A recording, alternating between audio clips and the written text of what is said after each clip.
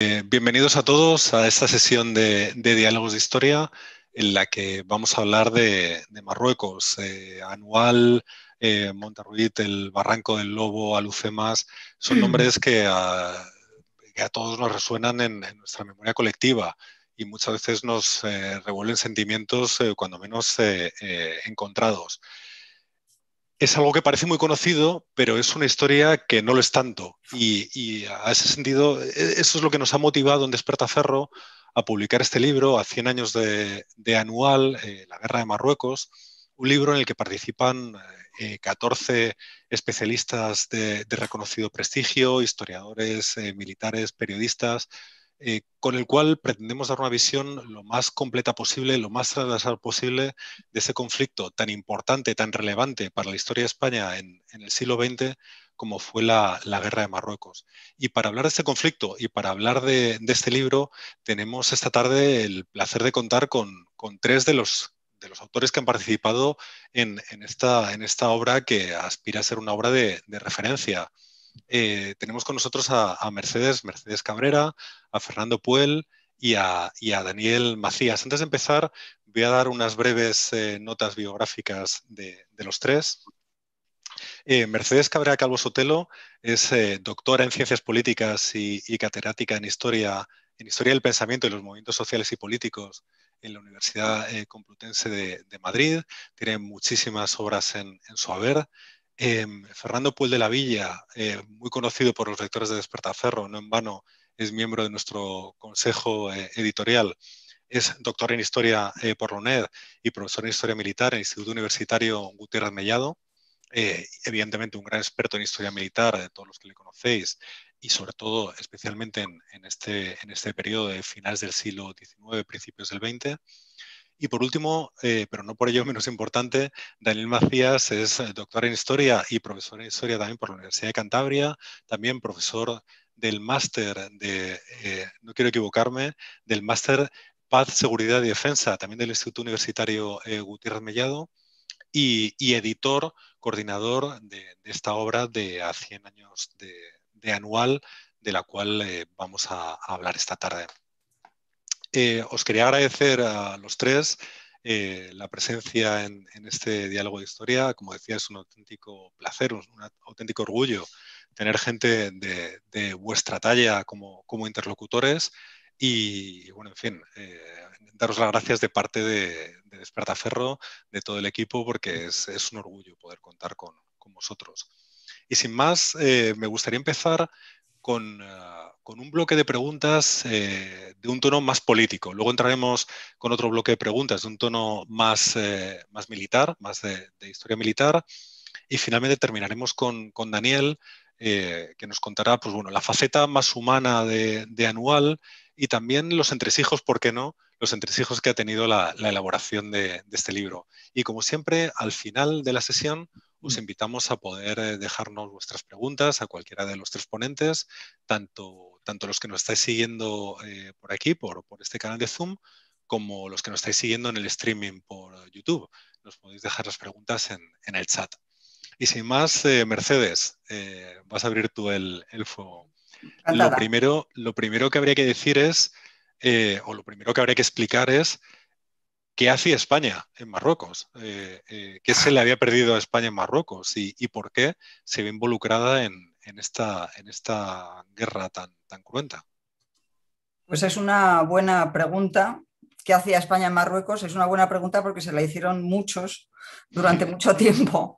Eh, y, con muy distintas contestaciones. Pero bueno, antes de entrar ahí, quiero darte las gracias, Javier, por invitarme a estar en esta presentación. Bueno, y a Daniel por haberme invitado a participar en este libro que yo creo que ha quedado eh, magnífico por las contribuciones y por la edición. Me parece que, bueno, que merece mucho la pena. ¿Qué hacía España en Marruecos? Pues, pues bueno, em, España se ve envuelta en eso que se ha llamado la nueva ola de expansión de las potencias europeas, esta nueva oleada de, em, expansión imperial que en el caso del continente africano ya había dado lugar al reparto de, al famoso reparto de África eh, años antes, en los años 80 del siglo XIX, y que en el norte de África, eh, bueno, pues había dejado abierto esta eh, pugna inicialmente entre Francia y Gran Bretaña, en la que irrumpe el imperio alemán cuando el imperio alemán comienza su política expansiva y que lógicamente tenía que involucrar a España porque España tenía las dos plazas de soberanía, Ceuta y Melilla, eh, y bueno, pues está el estrecho de Gibraltar, España al otro lado, quiero decir, eh, la presencia de España en el norte de África y en este momento de, gran expansión de los, de los países europeos eh, era hasta cierto punto inevitable. El problema es que España era una potencia de muy segundo orden y tenía todavía relativamente reciente, cuando empiezan las negociaciones, primero entre Francia y Gran Bretaña y después, bueno, pues con, con la interferencia de Alemania y se firman los tratados que se van firmando, el problema es que España tenía todavía, digamos, reciente la gran derrota del 98, la pérdida de las últimas colonias y todo el debate que suscita aquello eh, en relación con eh, las, eh, los países anglosajones pujantes y los países latinos en decadencia, y, bueno, la, conciencia española era una conciencia más bien de, pues eso, de, de, quien había sido una gran potencia y había quedado relegada a, ser una potencia de, segundo, de segundo orden, ¿no? Eh, pero inevitablemente tenía que estar ahí, es decir, no podía dejar de estar. Entonces yo creo que esta, eh, esta diferencia ¿no? entre eh, una potencia que, que se ha metido hacia adentro, ¿no? Mm, y, en contraste con las grandes potencias europeas en, expansión, marca bastante lo, en, cierto sentido, digamos, la conciencia que se tiene en España de, qué, se está haciendo, qué se está haciendo allí. Es decir, en España no hay este, eh, esta conciencia patriótica, expansiva, imperialista, ¿no? sino que se está, por decirlo mal y pronto, se está en Marruecos eh, porque no hay más remedio. ¿no? Eh, me parece muy acertado el, título que le da Julio Albi a su contribución en el libro, que es Un protectorado a regañadientes. Bueno, mm, a regañadientes yo creo que es una buena manera de, llamarlo, ¿no? Hay que estar y se está, pero, repito, no hay esa conciencia patriótica, nacionalista, eh, optimista, expansiva que hay en otras potencias europeas. ¿no?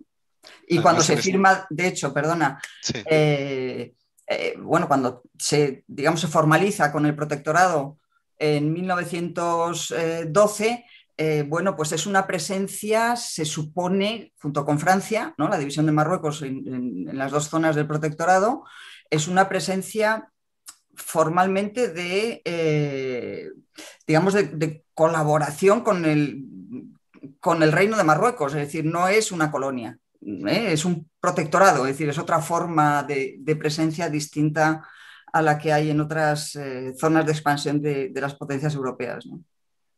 Además, también, dicho mal y pronto, a España le tocó bailar con la más fea. Y le tocó, le tocó una zona eh, de Marruecos, esto yo creo que, todos somos, bueno, todos lo hemos oído, eh, la más difícil desde todos los puntos de vista, ¿no? Desde el punto de vista, eh, decir, desde el punto de vista del relieve, del, digamos, y, además de una zona de, de cabilas muy, muy, muy poco sometidas al sultán, muy proclives a la insurrección y al rechazo de la presencia europea. Es decir, nos tocó, a diferencia de lo que, pasó, que le pasó a Francia, nos tocó la zona difícil del protectorado. Y un poco la línea en lo que decías, eh, desde, desde, un punto de vista político, eh, ¿cómo eran percibidas estas, eh, esas campañas o esta, o esta presencia española en, Marruecos desde la pues propia España? Yo, yo creo que, bueno, yo, yo creo que decir, lo cuenta también Julio Albi ahí, ¿no? en este protectorado a regañadientes, los políticos mm, estaban especialmente preocupados por intentar hacer compatible esta conciencia de hay que estar y hay que defender los intereses de España, porque es una zona indudablemente de interés estratégico eh, evidente, hay que estar. También es verdad que había intereses económicos que se habían ido construyendo ¿no? al hilo de, la presencia española, eh, pero los políticos también eran muy conscientes del coste eh, humano del coste en recursos eh, para un país como era España en ese momento, que no era una gran potencia económica. Eh, entonces, eh, digamos, entre la clase política había una unanimidad en, prácticamente ¿no? en, en que hay que estar ahí, pero un gran debate sobre cómo hay que estar, qué implica estar ahí, y, luego una comunicación, digamos, para a la opinión pública muy errática y muy poco clara, ¿no? Es decir, eh, que yo creo que se, que se manifiesta eh, muy, muy, de manera muy dramática eh, pues en, 1909, con ocasión del, desastre del Barranco del Lobo, y que, bueno, pues el, gobierno, que en ese momento es el gobierno conservador de Antonio Maura, eh, decide enviar tropas allá como si aquello fuera una, operación de policía y no da prácticamente ninguna explicación a la ciudadanía de, por qué se están embarcando tropas para, para Marruecos. ¿no? Entonces, la clase política, digamos que está convencida de que hay que estar ahí, hay, bueno, va a ir habiendo opiniones más abandonistas según avancemos ¿no? hacia, hacia, hacia los años 20. Eh, pero digamos que entre los partidos de gobierno, los conservadores y los liberales, pues es esta idea de que hay que estar ahí eh, que, pero que hay que intentar minimizar los costes y luego hay una información, yo creo, escasa, escasa o poco clara. Entre la población que es Marruecos, pues Marruecos es la amenaza del embarque de tropas, ¿eh? en un país en el que el servicio militar, aunque en 1912 eh, queda abolida la, la, redención en metálico, de todas maneras sigue siendo un, un, reclutamiento que se considera injusto porque hay maneras de evitarlo o de minimizar el servicio militar cuando se tiene posibilidad de, hacerlo. Entonces, los soldados que van a Marruecos son soldados que lo que quieren es volver a casa y no hay un, hasta muy avanzado el tiempo, no hay un ejército, digamos, o, no se intenta crear un ejército eh, adecuado para eh, el tipo de conflictos que se manifiestan en el protectorado. Entonces, entre la población, ¿qué, es lo que eh, se piensa en relación con Marruecos? Pues, pues el coste de tener, de verse obligado en un momento determinado por una situación de conflicto a ir allá. Y repito que la Semana Trágica de Barcelona pues es la primera vez en que se manifiesta esto, además de manera eh, absolutamente trágica, con los acontecimientos que comienzan con el embarque en, Barcelona, bueno, y todo lo, y, lo que sigue, ¿no? Y, desde el punto de vista de los militares, aunque seguro que Fernando Puel después va a hablar mucho de esto, eh, pues yo creo que hay opiniones eh, divididas y, que se van a mantener divididas hasta, hasta muy tarde, ¿no? Porque eh, la presencia española en, Marruecos va a tener, por múltiples causas, un carácter fundamentalmente militar.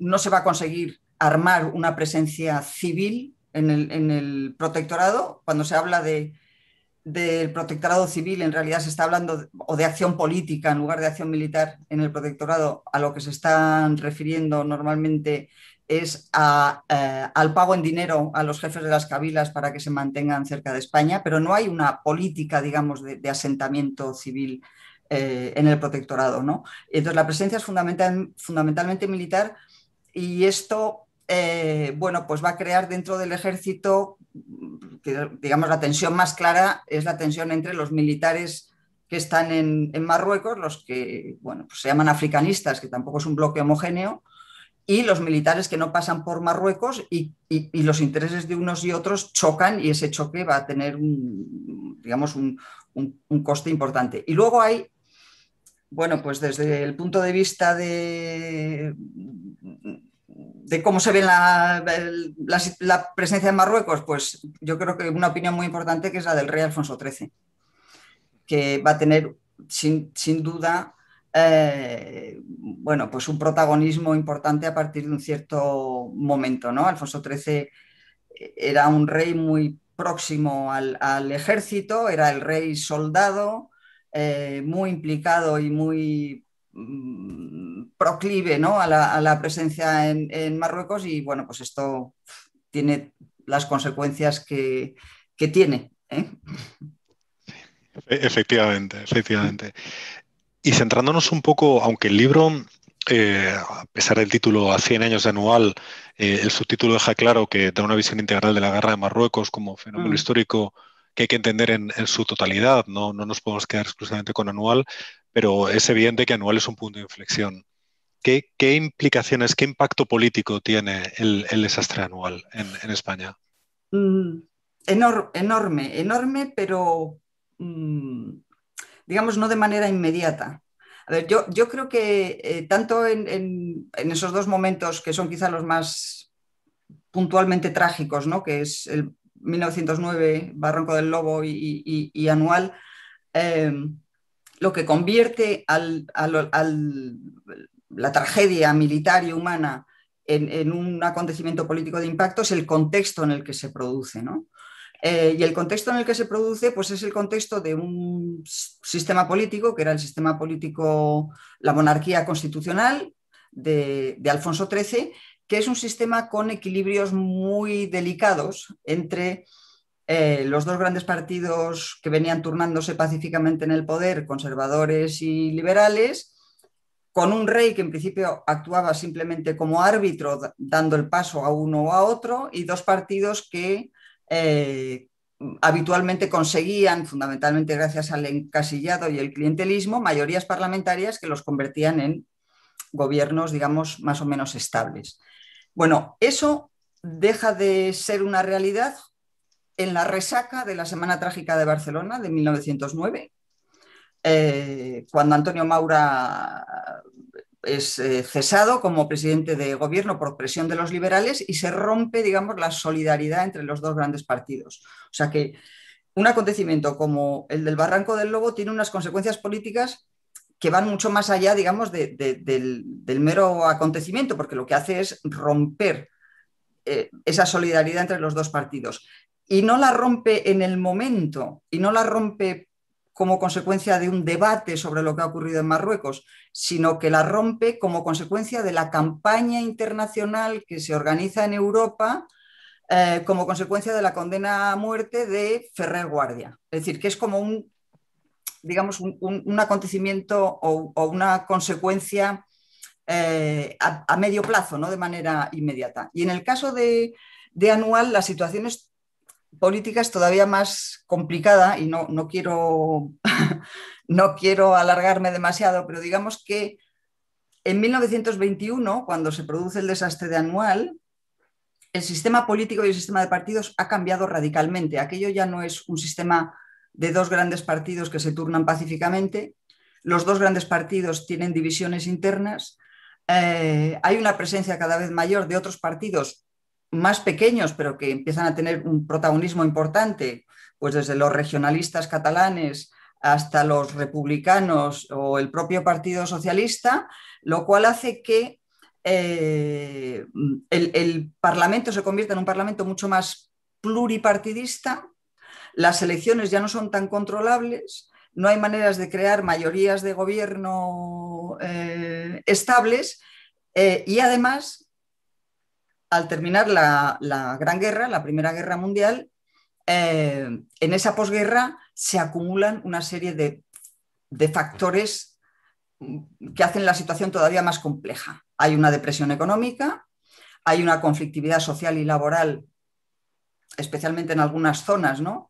Que desemboca en situaciones de violencia y de pistolerismo y de una represión mm, brutal por parte del gobierno. Por cierto, recurriendo al ejército, muy importante esto. ¿eh?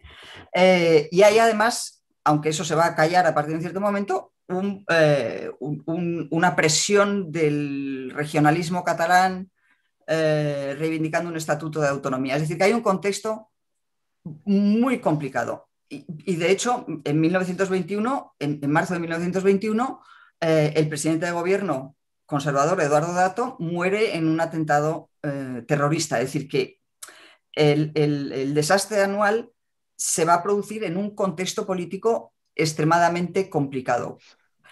¿Cuál es la consecuencia? Pues, pero también digamos que el impacto no es inmediato, igual que en 1909, sino que es un impacto con un cierto retraso, ¿eh? Porque eh, al conocerse las noticias de lo que ha pasado en anual, el gobierno que está dirigido por otro conservador que se llama Manuel Allende Salazar, dimite y se forma un gobierno nacional, que es una eh, rareza, en aquel, era una rareza en aquel sistema, presidido otra vez por Antonio Maura. Antonio Maura está condenado a estar presente en, siempre que ocurre algo en relación con Marruecos. Eh, y ese gobierno es un gobierno que recibe un apoyo casi total de todas las fuerzas políticas, incluidos muchos republicanos. ¿eh? Por supuesto, los republicanos reformistas de Melquiades Álvarez, pero incluso del propio Lerroux, Alejandro Lerroux, el, jefe del Partido Radical, eh, apoya ese gobierno de Antonio Maura. Digamos que la reacción frente anual es una reacción nacional de apoyo a ese, a ese gobierno. Pero las cosas se van a complicar cuando llega eh, el, pues el asunto de las responsabilidades, es decir, eh, la exigencia de responsabilidades por lo que ha pasado, que es un proceso que tarda un tiempo, ¿eh? pero que va a ser el gran elemento, digamos, de, crisis mm, en, relación con, el funcionamiento del sistema político. ¿no? se había mandado eh, al, general Picasso a Marruecos a poner en marcha el famoso expediente Picasso ¿no? de, investigación sobre lo que había ocurrido en, el anual. Y cuando llega el expediente Picasso, bueno, pues se acelera el proceso de petición de responsabilidades. Y ahí es donde entramos en un momento de crisis, y con esto acabo. No sé si se nota que he escrito sobre esto antes. me, entra el, entusiasmo. Em, la gran pregunta es si el sistema político había llegado ¿no? a una situación en la cual eh, era muy difícil salir de, los estrangulamientos que había ido generando, o si por el contrario estábamos en un momento en el que aquel sistema estaba empezando a funcionar de otra manera, es decir, más parlamentario, más pluralista, de mayor debate público, en el que se llega a, discutir en el, Congreso de los Diputados la, acusación contra el gobierno que estaba en el poder cuando se produce eh, el, desastre anual. ¿no? Eso significa, significaba que el sistema se estaba parlamentarizando de alguna manera.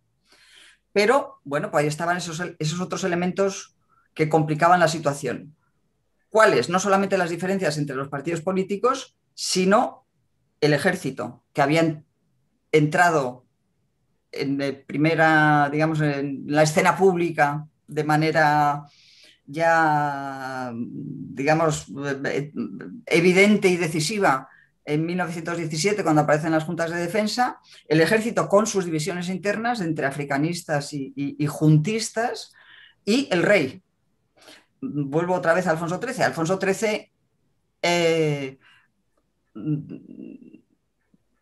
digamos que, eh, bueno, que es acusado, al menos por el Partido Socialista, ahí están los discursos de Indalecio Prieto en el Congreso, ¿no? De estar detrás probablemente de las responsabilidades por el desastre de Anual, cosa que nunca, hasta donde yo llego, se pudo demostrar. Pero lo que sí estaba claro era, como he dicho antes, su proximidad al ejército, a los militares y en, concreto a Silvestre, eh, y eso pues le, le hacía, digamos, sospechoso ¿eh? para algunos. Em, pero lo que, lo, que estaba, lo, que estaba, claro es que eh, el ejército, los militares estaban en el centro de un conflicto del que, no, del que se negaban a asumir la responsabilidad en exclusiva. ¿eh? Es decir, eh, eh, los militares acusan el proceso de las responsabilidades como si los políticos civiles estuvieran esquivando la responsabilidad que les, que les tocaba mm, como consecuencia de aquel, de aquel, desastre. Entonces, la tensión entre partidos políticos, poder civil, poder militar y Alfonso XIII es lo que está ahí y es lo que eh, lo que provoca el desastre anual, es decir, que, esa dificultad, esas relaciones difíciles se tensen ¿eh? de manera absoluta eh, en esos momentos. No es inmediato, repito, es cuando llega el asunto de las responsabilidades, cuando esos estrangulamientos se ponen de manifiesto. Y de forma muy sintética, Mercedes, estas, estas eh, repercusiones que va a tener no a corto plazo, sino medio, largo plazo, eh, ¿hasta, dónde, ¿hasta dónde podrían llegar? La, más evidente quizás es el golpe de Estado de Primo de Rivera, pero, pero se pueden enumerar eh, unas cuantas más seguramente. El golpe de Estado de Primo de Rivera, desde luego, también es paradójico que Primo de Rivera, que había sido abandonista, es decir, partidario de abandonar eh, Marruecos eh, se va a convertir en el gran héroe del desembarco en, en, Alucemas, eh, pero desde luego el golpe de Estado tiene detrás esa, esa, pugna entre poder civil y poder militar, que finalmente se decanta a favor del poder militar, y de un jefe del Estado, Alfonso XIII, que acepta el golpe. y, bueno, pues la, dictadura que sigue Mm, tiene todo que ver con, el, desastre de, Anual. Igual que tiene todo que ver eh, el éxito de la operación de Alucemas con el intento de Primo de Rivera de asentar su dictadura y de darle, ¿no? Es decir, de convertir la dictadura no ya en, algo provisional, sino en un, digamos, en un sistema con futuro, ¿no? Eh, más, allá, más allá de aquello, eh, bueno, pues el ejército de África, el ejército de Marruecos, es decir, e, esos militares que se han formado en Marruecos y no quiero invadir territorio de, Fernando Puel, tienen un, un, protagonismo fundamental en la sublevación de julio de 1936. Eh, si no hubiera existido ese protectorado como, como fue, si no hubieran existido esos desastres, si no hubiera habido si no hubiera pasado lo, que había pasado, eh, habríamos tenido eh, esos, a esos militares africanistas, o formados por lo menos en, Marruecos, dispuestos a sublevarse contra la República. Bueno, pues eso es hacer un futurible, ¿no? Pero desde luego eh, el, ejército de África tiene ya un protagonismo en la represión de la Revolución de Octubre del 34 en la República y tiene un protagonismo indudable en, julio de 1936. Sin duda, sin duda. Mm. Ya que has mencionado a Fernando, Fernando, eh, te damos el testigo eh, para hablar precisamente del ejército español en, la época. Un ejército español que salía, salía del desastre del 98 y se encuentra inmerso en la guerra de Marruecos.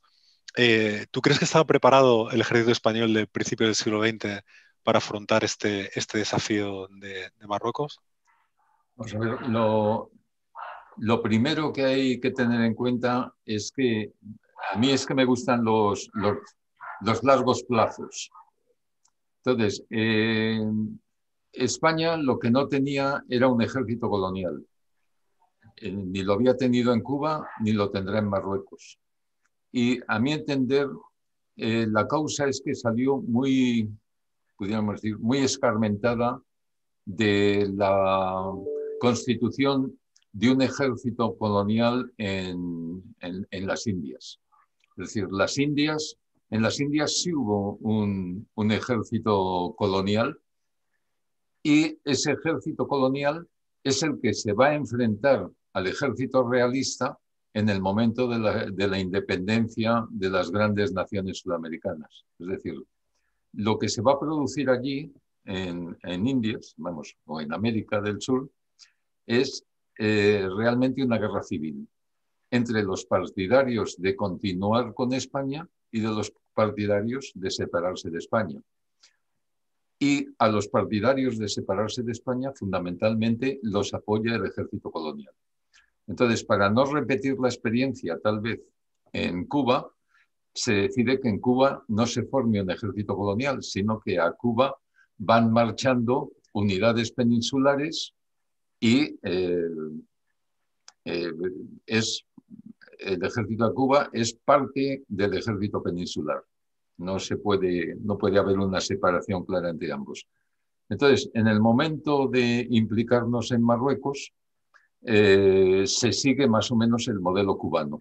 Es decir, eh, la primera vez que, hay que intervenir, citando el episodio de 1859-60, cuando se va a intervenir por primera vez en, un pequeño rifirrafe en Melilla en 1893, se mandan unas unidades expedicionarias, que es el nombre que toman, actúan y vuelven a la península y las guarniciones de las plazas de soberanía de Ceuta, Melilla y los presidios menores de Chafarinas, Alucemas, etc., eh, tienen unas, unas pequeñas guarniciones permanentes mínimas y en 1909 se vuelve a repetir el modelo. Es decir, eh, se quiere hacer, como ha dicho antes Mercedes, una operación de policía, entre comillas, para castigar a, la cabila que había atacado las obras del ferrocarril de las minas del Rif y se mandan unas cuantas unidades eh, que se hizo francamente mal por el general Linares, porque eh,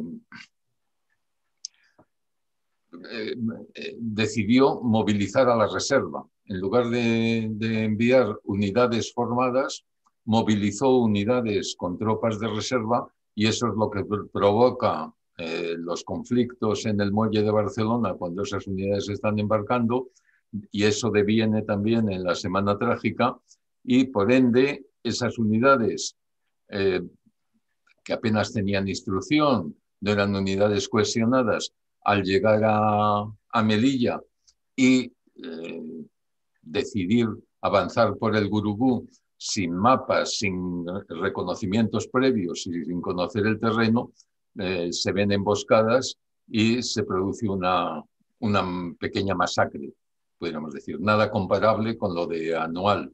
Fue un episodio mucho más concreto, en apenas dos horas de una mañana, pero el, impacto del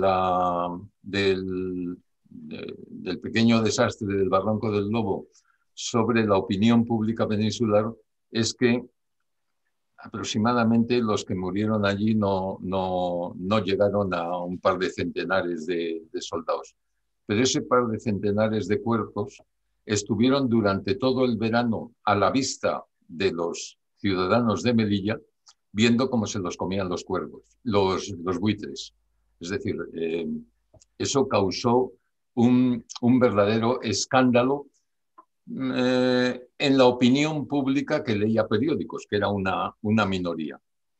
Eh, eso va a producir, de lo que ha hablado Mercedes antes, el, el, enfado de Maura porque por un cese que él no entendió, la división de los partidos y todo eso va avanzando. Y en ese momento, en 1912, nos tenemos ya que enfrentar al problema de Marruecos. Y a Marruecos, ante la... Eh, tanto en, los dos, en las dos zonas de influencia, tanto en los alrededores de Melilla como en los alrededores de, Ceuta, van a surgir dos caudillos locales, eh, el rey en la zona de influencia de Ceuta, de Ceuta-Tetuán, y el Micián en la zona de influencia de Melilla, que no admiten la presencia española.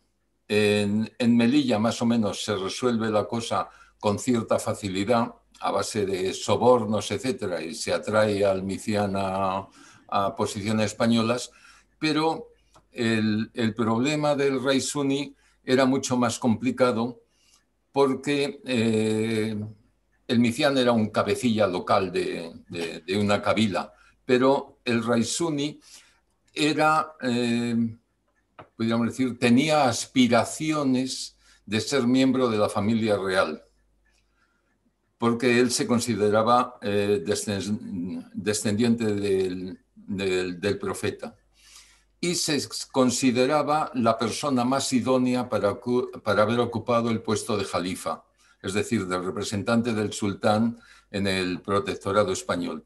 Entonces, la ofensa que le supuso que el sultán no le eligiera como jalifa la va a mantener permanentemente y va a mantener una lucha constante.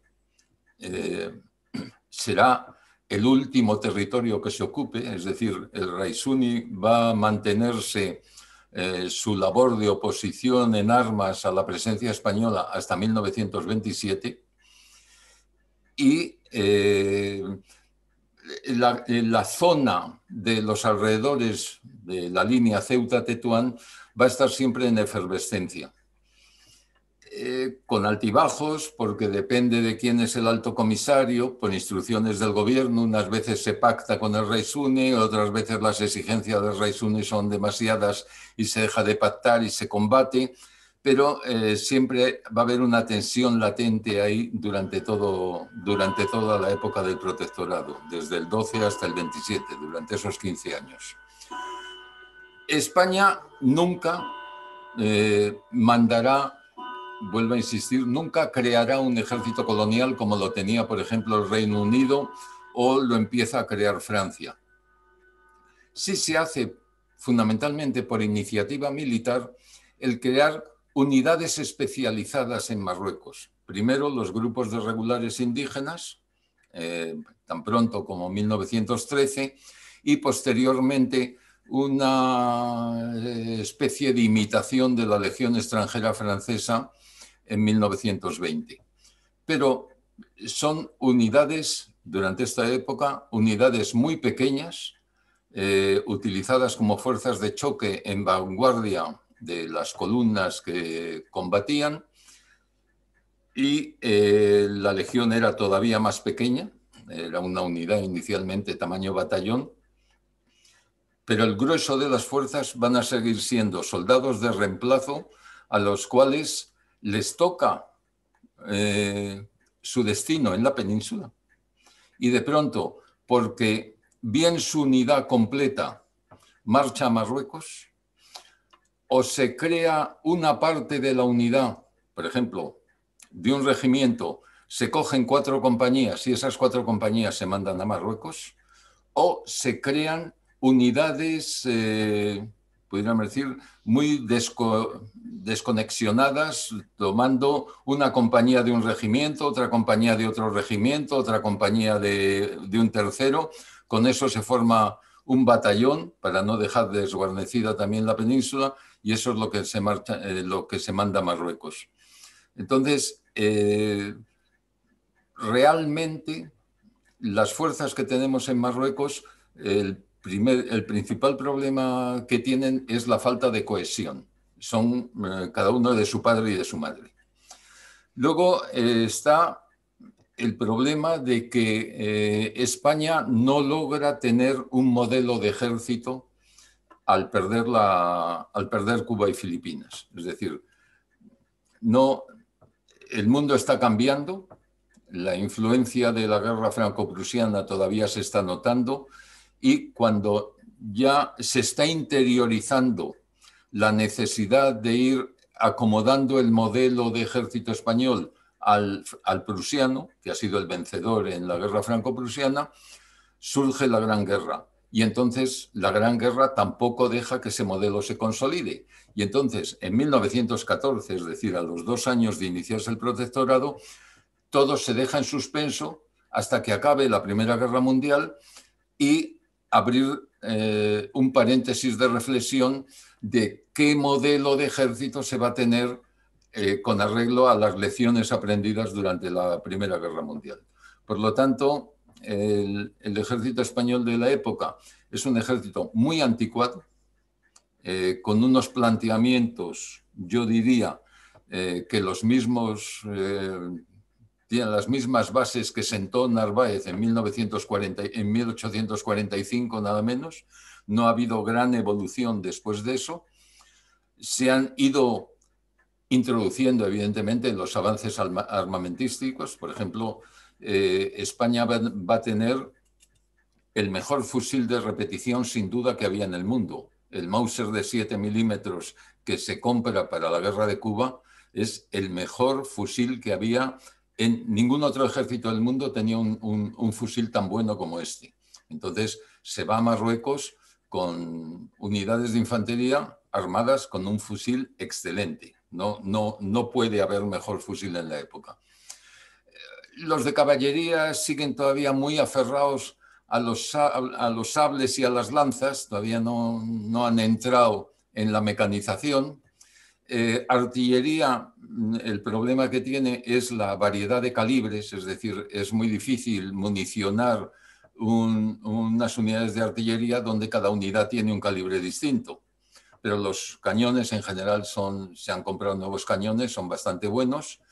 Eh, el que más ha progresado es el arma de ingenieros porque eh, los, militares de la época, es decir, los militares de la restauración y de los primeros años del siglo XX, es un, una colectividad de las más punteras que había en España.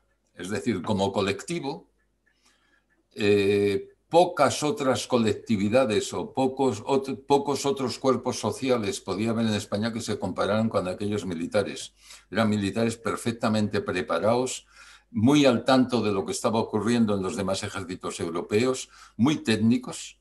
el nivel de las revistas profesionales de la época son verdaderamente increíbles y además en aquel momento había una libertad de expresión inclusive de los militares eh, que eran muy críticos con el gobierno, es decir, la literatura militar de la época es tremenda y suele ser, mm, vamos, ponen patas arriba eh, lo divino y lo humano. Entonces, en, en, ese momento estamos en un momento de que realmente no se sabe qué hacer el, ejército sigue anclado en el pasado, los militares piden más, me refiero a los cuadros de mando, piden más, y luego está el, problema de la tropa. Como bien decía Mercedes, eh, en España la, mili eh, nunca lo han hecho los ricos, ni en el siglo XVIII, ni en el siglo XIX, ni en el siglo XX siempre ha habido una forma de zafarse.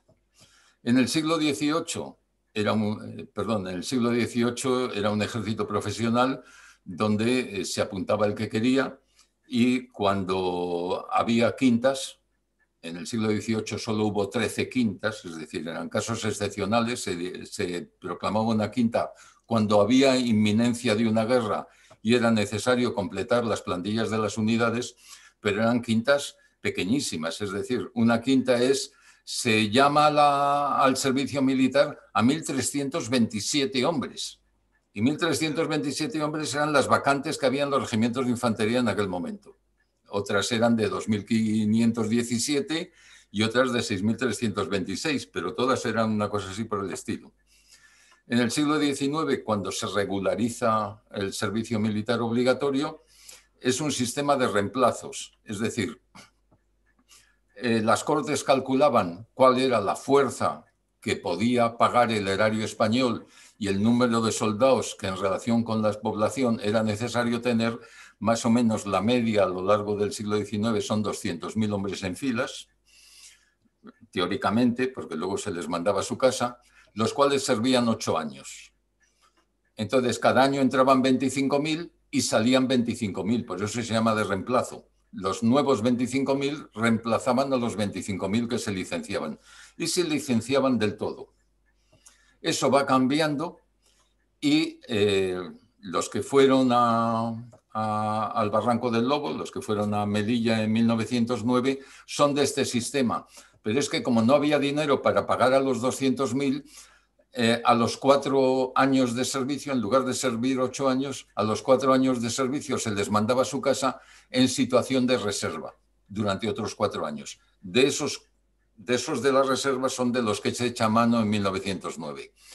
Pero en 1912, precisamente a consecuencia del Barranco del Lobo y de las eh, algaradas de la Semana Trágica Barcelonesa contra las Quintas, por fin se impone en España el servicio militar de modelo prusiano.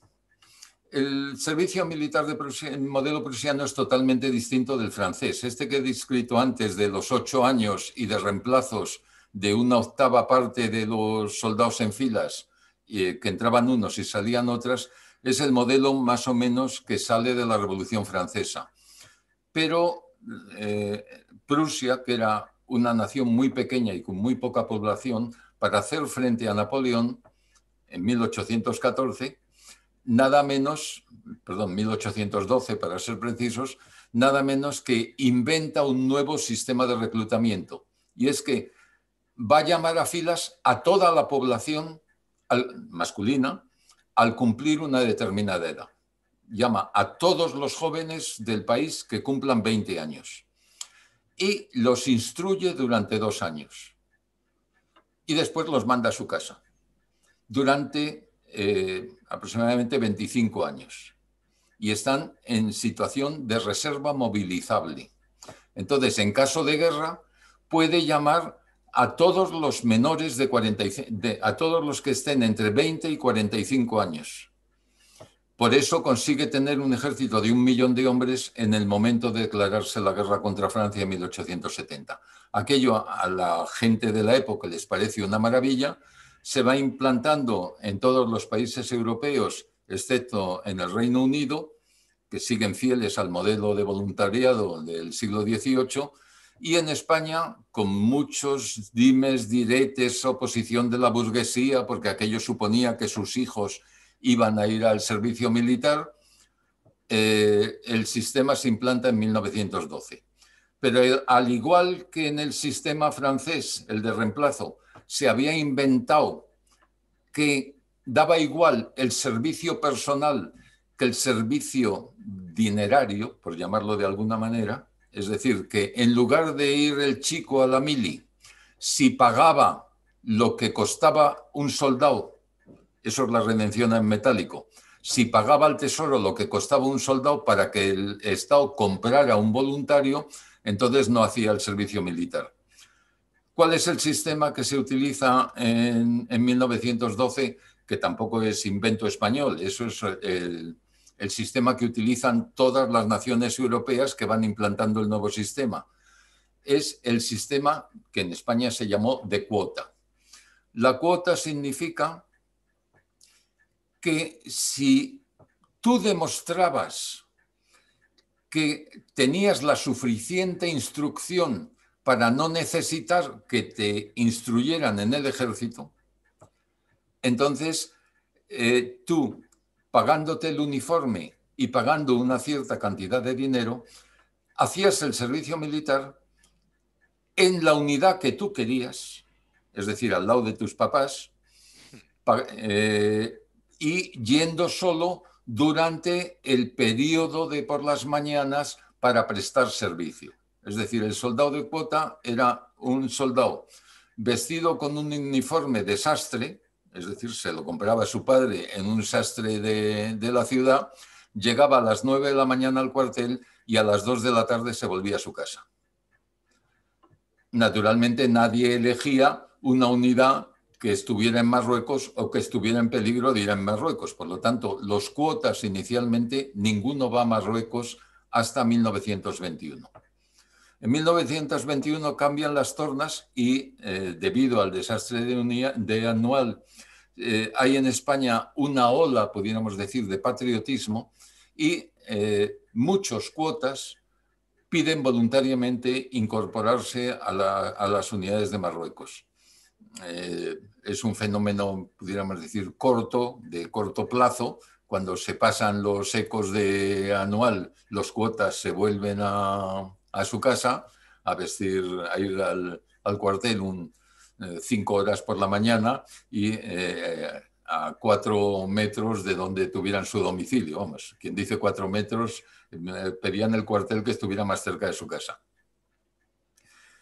Eh, curiosamente, el sistema de cuotas permanece durante la República. Es decir, las, reformas de hazaña no eliminan el sistema de cuotas, el sistema totalmente interiorizado por la sociedad burguesa, porque los políticos de, de la República no dejan de ser burgueses al fin y al cabo, y el que quita el sistema de cuotas es Franco en 1941, pero lo sustituye por la milicia universitaria, que es un sistema de cuotas mm, en un podríamos decir, más modernizado. Es decir, lo que decía antes, los ricos nunca han hecho el servicio militar en España, nunca han ido a la mili. Eh, hemos estado hablando de los, eh, de los problemas, de las carencias eh, más o menos sistémicas que podía tener el ejército español en, en, esta época, pero ¿qué supuso anual a nivel militar? ¿Ya se ha adelantado algo de, de transformaciones, al menos en la parte de, del reclutamiento? Eh, aunque fuera eh, eh, simplemente en, al calor del desastre y de ese fervor patriótico de, anual, pero en otros niveles, a nivel táctico, a nivel logístico, hubo, otras transformaciones de importancia que se implementaron con posterioridad a, anual en el, en subsiguiente desarrollo de la guerra de Marruecos. Inmediatamente después de anual, como también decía Mercedes antes, eh, los efectos no son inmediatos. Es decir, lo primero que se hace después del desastre es intentar por lo menos recuperar a los prisioneros que había en Montearruiz, que al final no hubo prisioneros, sino que se encontraron cadáveres, y fue una operación muy local. Eh, está a unos 75 kilómetros de Melilla. Entonces se hizo una, una operación inicial, sobre todo para levantar el cerco que había en Melilla. hay que darse cuenta que a Delcrín llega Nador y Nador, eh, las casas de Nador se ven desde Melilla. Es decir, están yo creo que entre, entre Melilla y Nador actualmente no hay ni cinco kilómetros. En aquella época Nador debía ser más pequeñito y pudiera haber 10 kilómetros. Digamos, eh, Nador está, Melilla está en la parte de arriba de la Mar Chica y Nador está en la parte sur de la Mar Chica. Y eh, llega hasta ahí. Entonces, el cerco de Melilla y el pavor que hay en Melilla de que Adelcrín entre en Melilla, que cupo la posibilidad, que es el famoso desembarco de una bandera de la Legión con, frente, con Franco al frente, eh, que aquello eh, dio cierto optimismo de que no estaban totalmente abandonados y eh, las operaciones que se hacen inmediatas son levantar ese asedio y sobre todo llegar a Monte Arruiz a ver qué, había pasado allí. y ahí se detienen prácticamente las operaciones. Eh, se vuelven a iniciar algunas operaciones en la, en la, zona occidental, en la zona de Tetuán, pero la cosa está muy, muy pausada hasta que mm, Adelcrín, que está crecido, que ha creado la República del Rif y que está, mm, eh, vamos, creyéndose el rey de reyes, eh, tiene la osadía de invadir el territorio francés. Y entonces los franceses, que siempre habían visto con muy buenos ojos eh, nuestras, nuestras penalidades eh, militares en, la zona norte del protectorado, dicen, hasta aquí hemos llegado. Y entonces establecen una serie de negociaciones entre las autoridades, entre los gobiernos francés y español, eh, se llega a unos acuerdos y se decide eh, cooperar. Y entonces se organiza una operación conjunta, eh, los franceses por el sur y los españoles por el norte, que es, eso va a llevar al desembarco de Alucemas, y desde el desembarco de Alucemas, también en cooperación con los franceses y actuando, podríamos decir, en dos ejes paralelos, se va ocupando todo el territorio Adelcrin y finalmente el del Rey Suni en 1927. Son dos años de combates durísimos, mucho menos conocidos que todos los anteriores, en los cuales eh, todo varía. De una parte, eh, las, decir, las fuerzas coloniales, tanto las de regulares indígenas como las de la Legión, se potencian.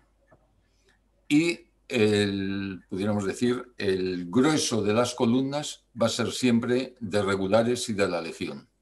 Aparte de eso, se abandona el sistema que ya se había utilizado en Cuba y que tan mal resultado había dado en Cuba y que tan mal resultado había, había dado en Marruecos hasta entonces, que era el de una red de pequeñas posiciones eh, la famosa táctica de mancha de aceite, que es que se ocupaba una posición y desde esa posición se intentaba ir eh, controlando una parte del territorio y así se iba extendiendo la, famosa mancha de aceite.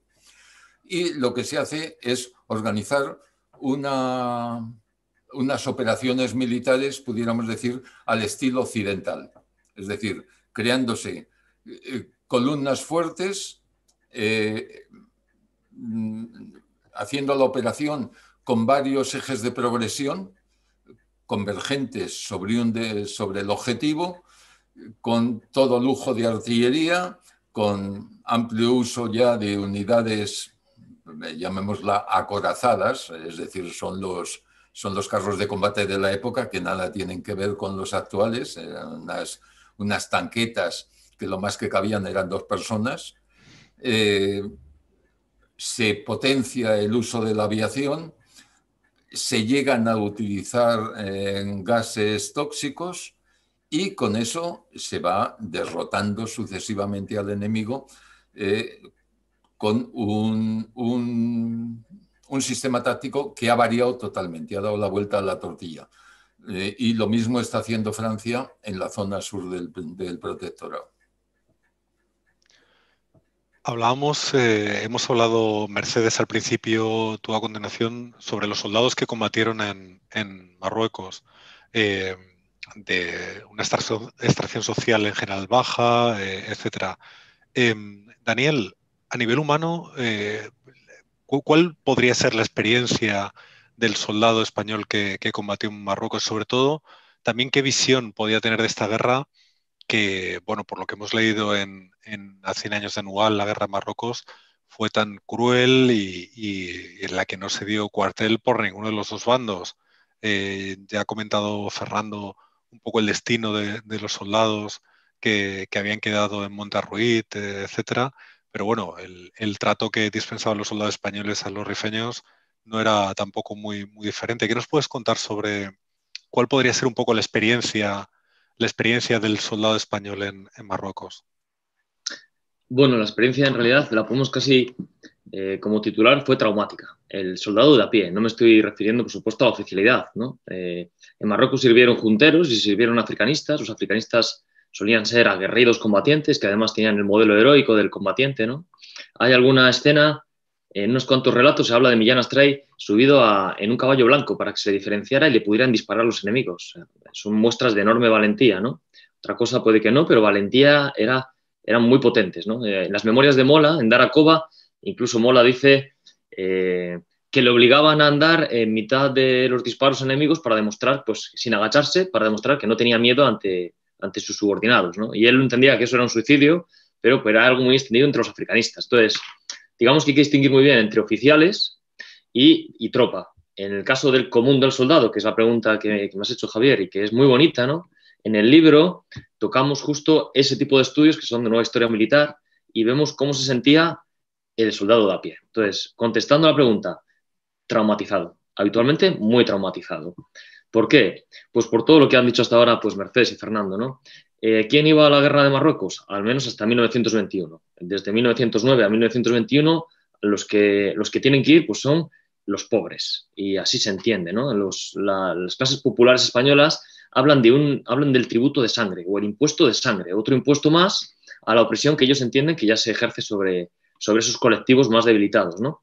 Los sectores obreristas, por cierto, van a sacar de ahí filón muchas veces y va a haber mucha cartelería eh, cuando, está, cuando comience a nacer, digamos, el movimiento comunista, serán los comunistas los que exploten, anarquistas y simplemente sectores obreros muchas veces simpatizan con la causa rifeña, no tanto probablemente porque la conozcan, sino como oposición a las guerras de Marruecos, ¿no? que entienden que son, son su problema. Entonces, ¿dónde comienza esto? Pues comienza con la injusticia. El soldado de a pie entiende que es injusto que sea él que tiene que ir a combatir a Marruecos cuando él es el que menos tiene que ganar. Y este es uno de los argumentos que muchas veces se manejan en estos sectores obreros, ¿no? o sectores campesinos incluso, donde tenía eh, mayor predicamento pues, el anarquismo como ideología.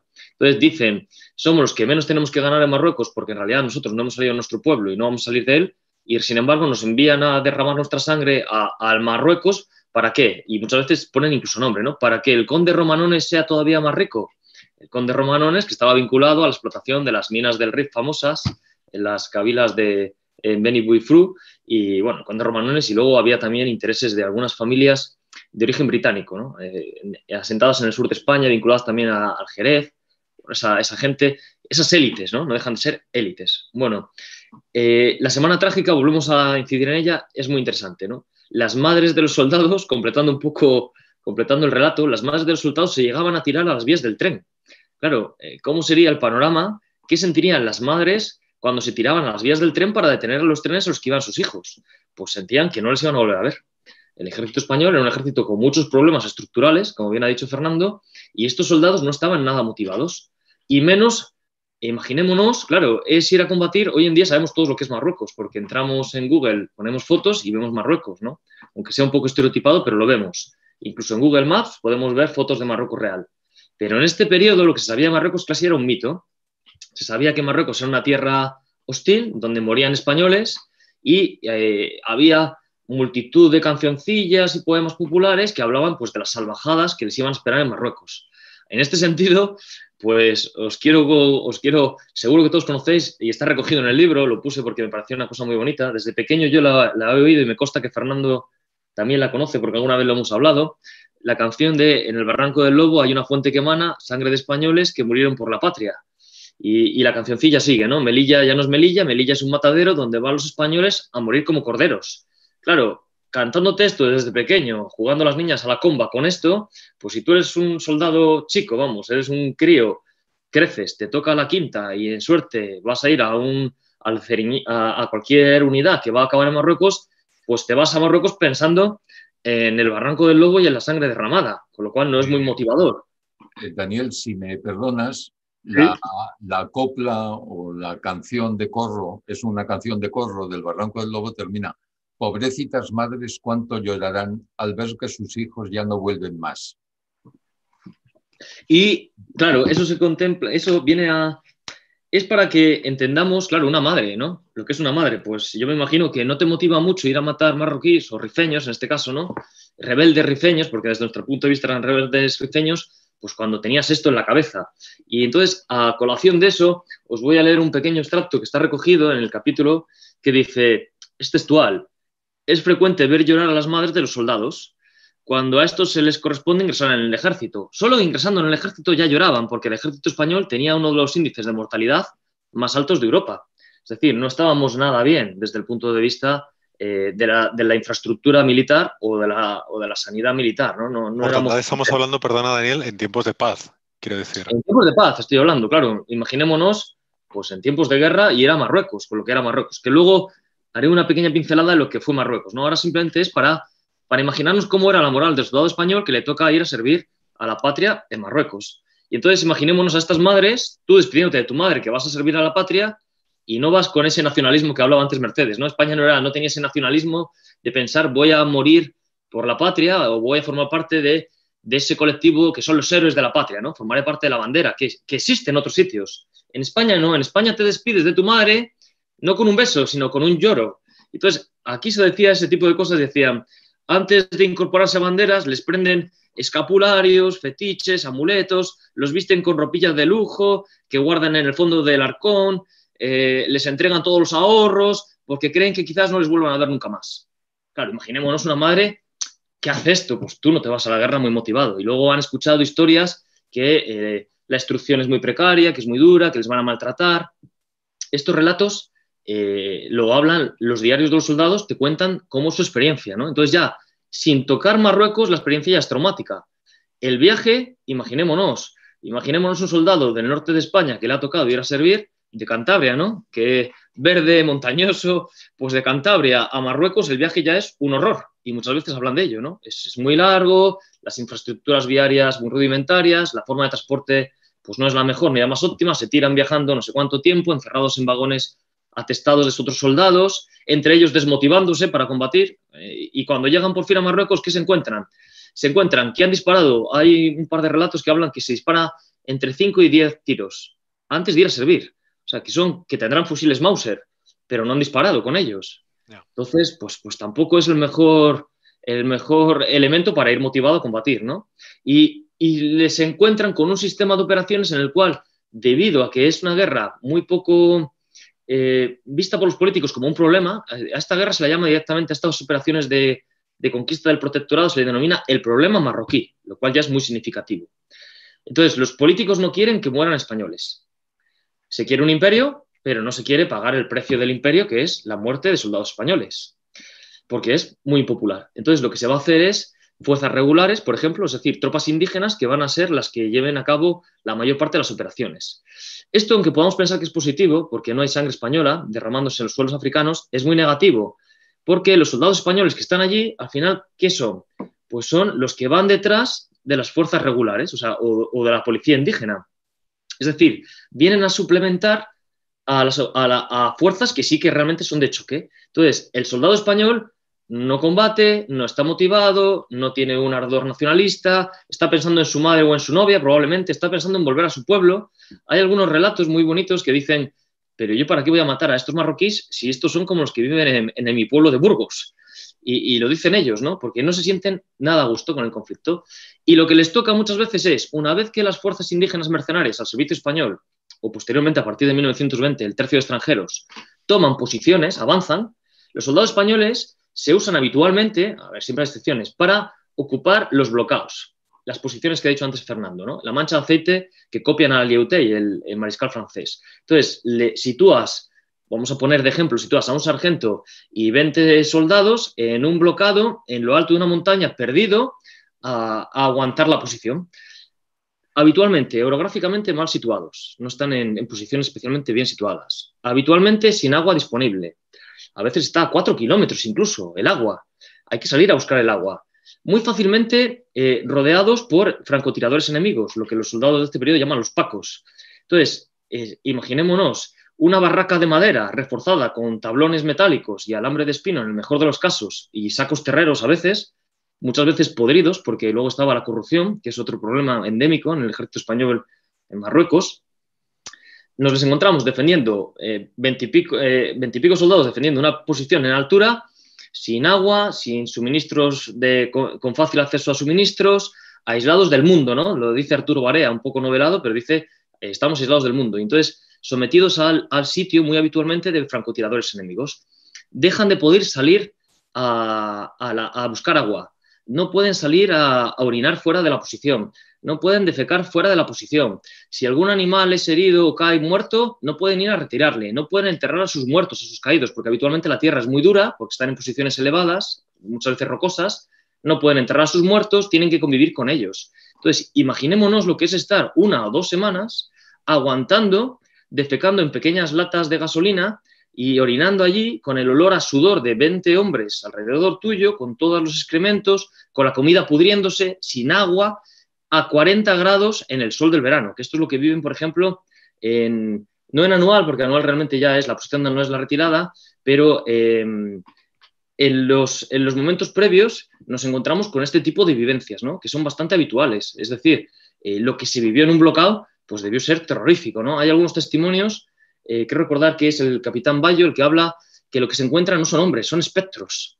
porque realmente lo que se encuentran cuando liberan estas posiciones, pues son hombres eh, eh, si no locos, a, veces al borde de la locura, ¿no? Eso era heroico, esas resistencias son heroicas, pero realmente desmotivan porque se conoce este tipo de sitios, se conoce esta vivencia y el soldado español está muy traumatizado por este tipo de, elementos, ¿no?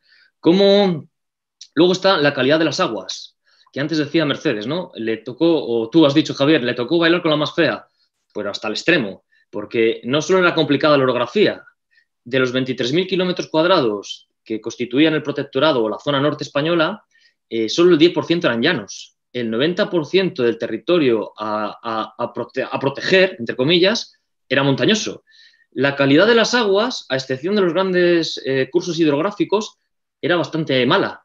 Generaba palúdicas. Muchas veces se refieren las memorias, no bebáis agua porque si bebéis agua os entra la palúdica y es peor que, que no beberla. Entonces, ¿qué bebían? Muchas veces se habla pues de mezclar agua con alcohol, de beber alcohol.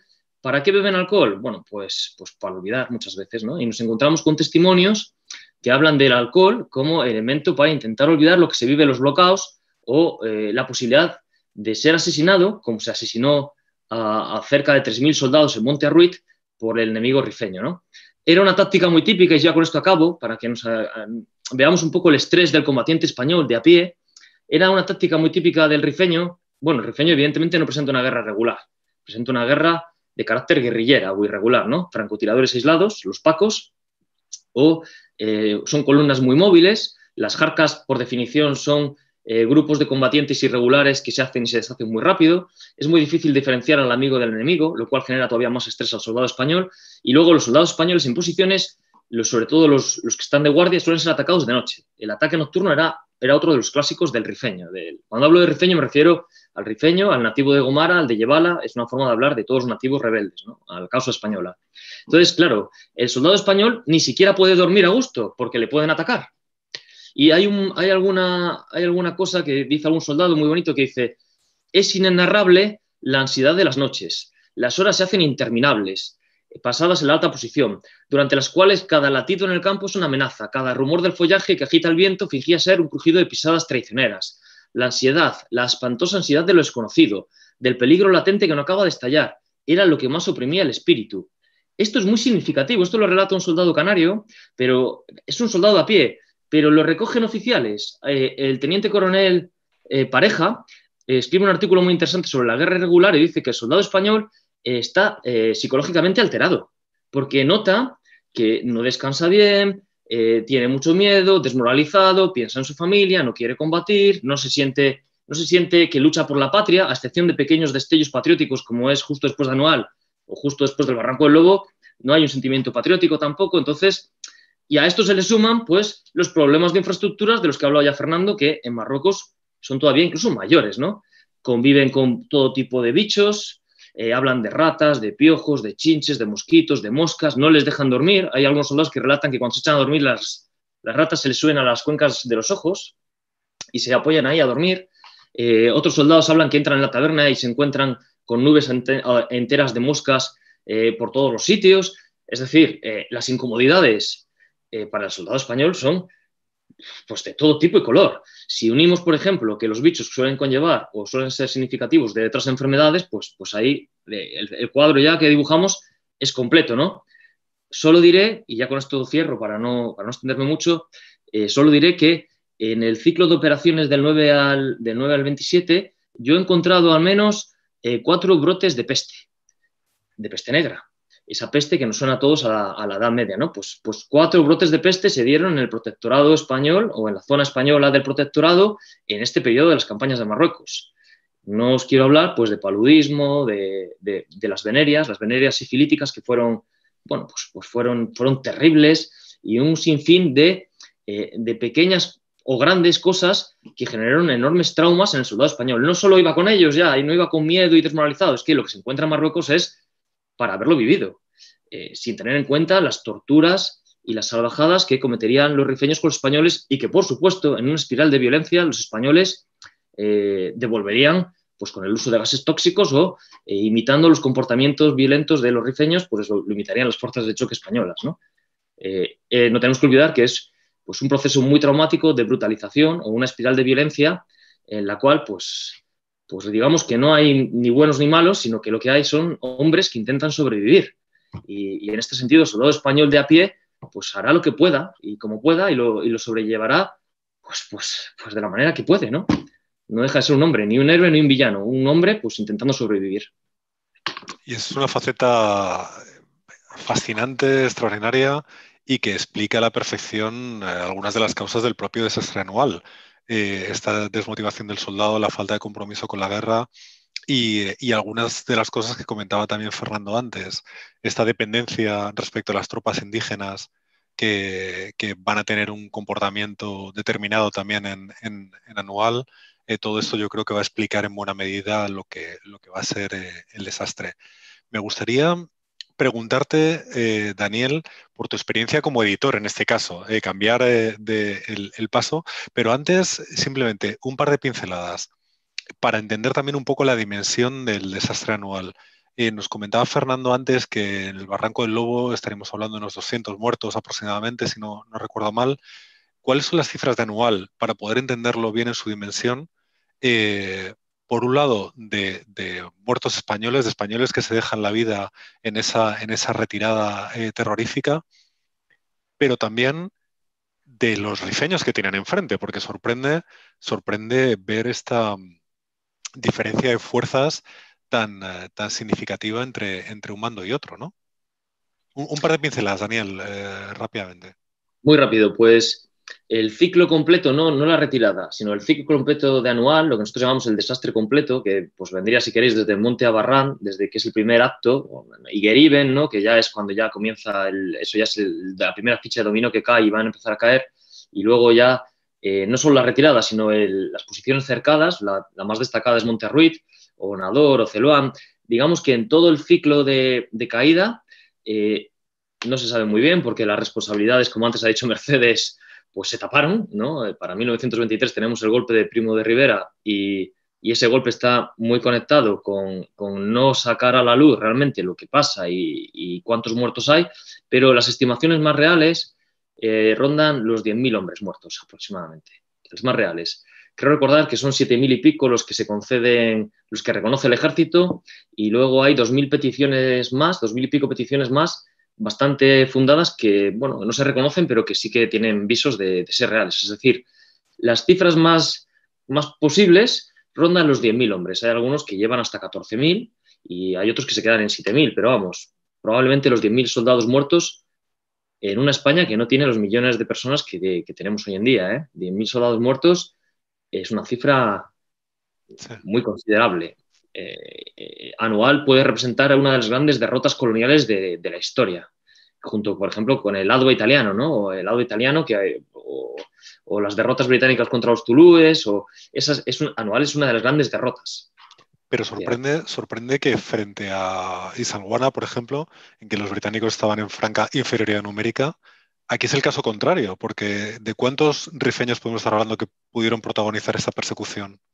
Javier, hoy, hoy me quieres poner en aprietos. Otra vez es, eh, no sabemos, hay un montón de, eh, hay un montón de datos al, respecto. ¿no? En cuanto a bibliografía secundaria, hay muchos autores que dan distintas, especialistas que tenemos aquí, dan distintas cifras, es decir, no es, no es muy fácil determinar.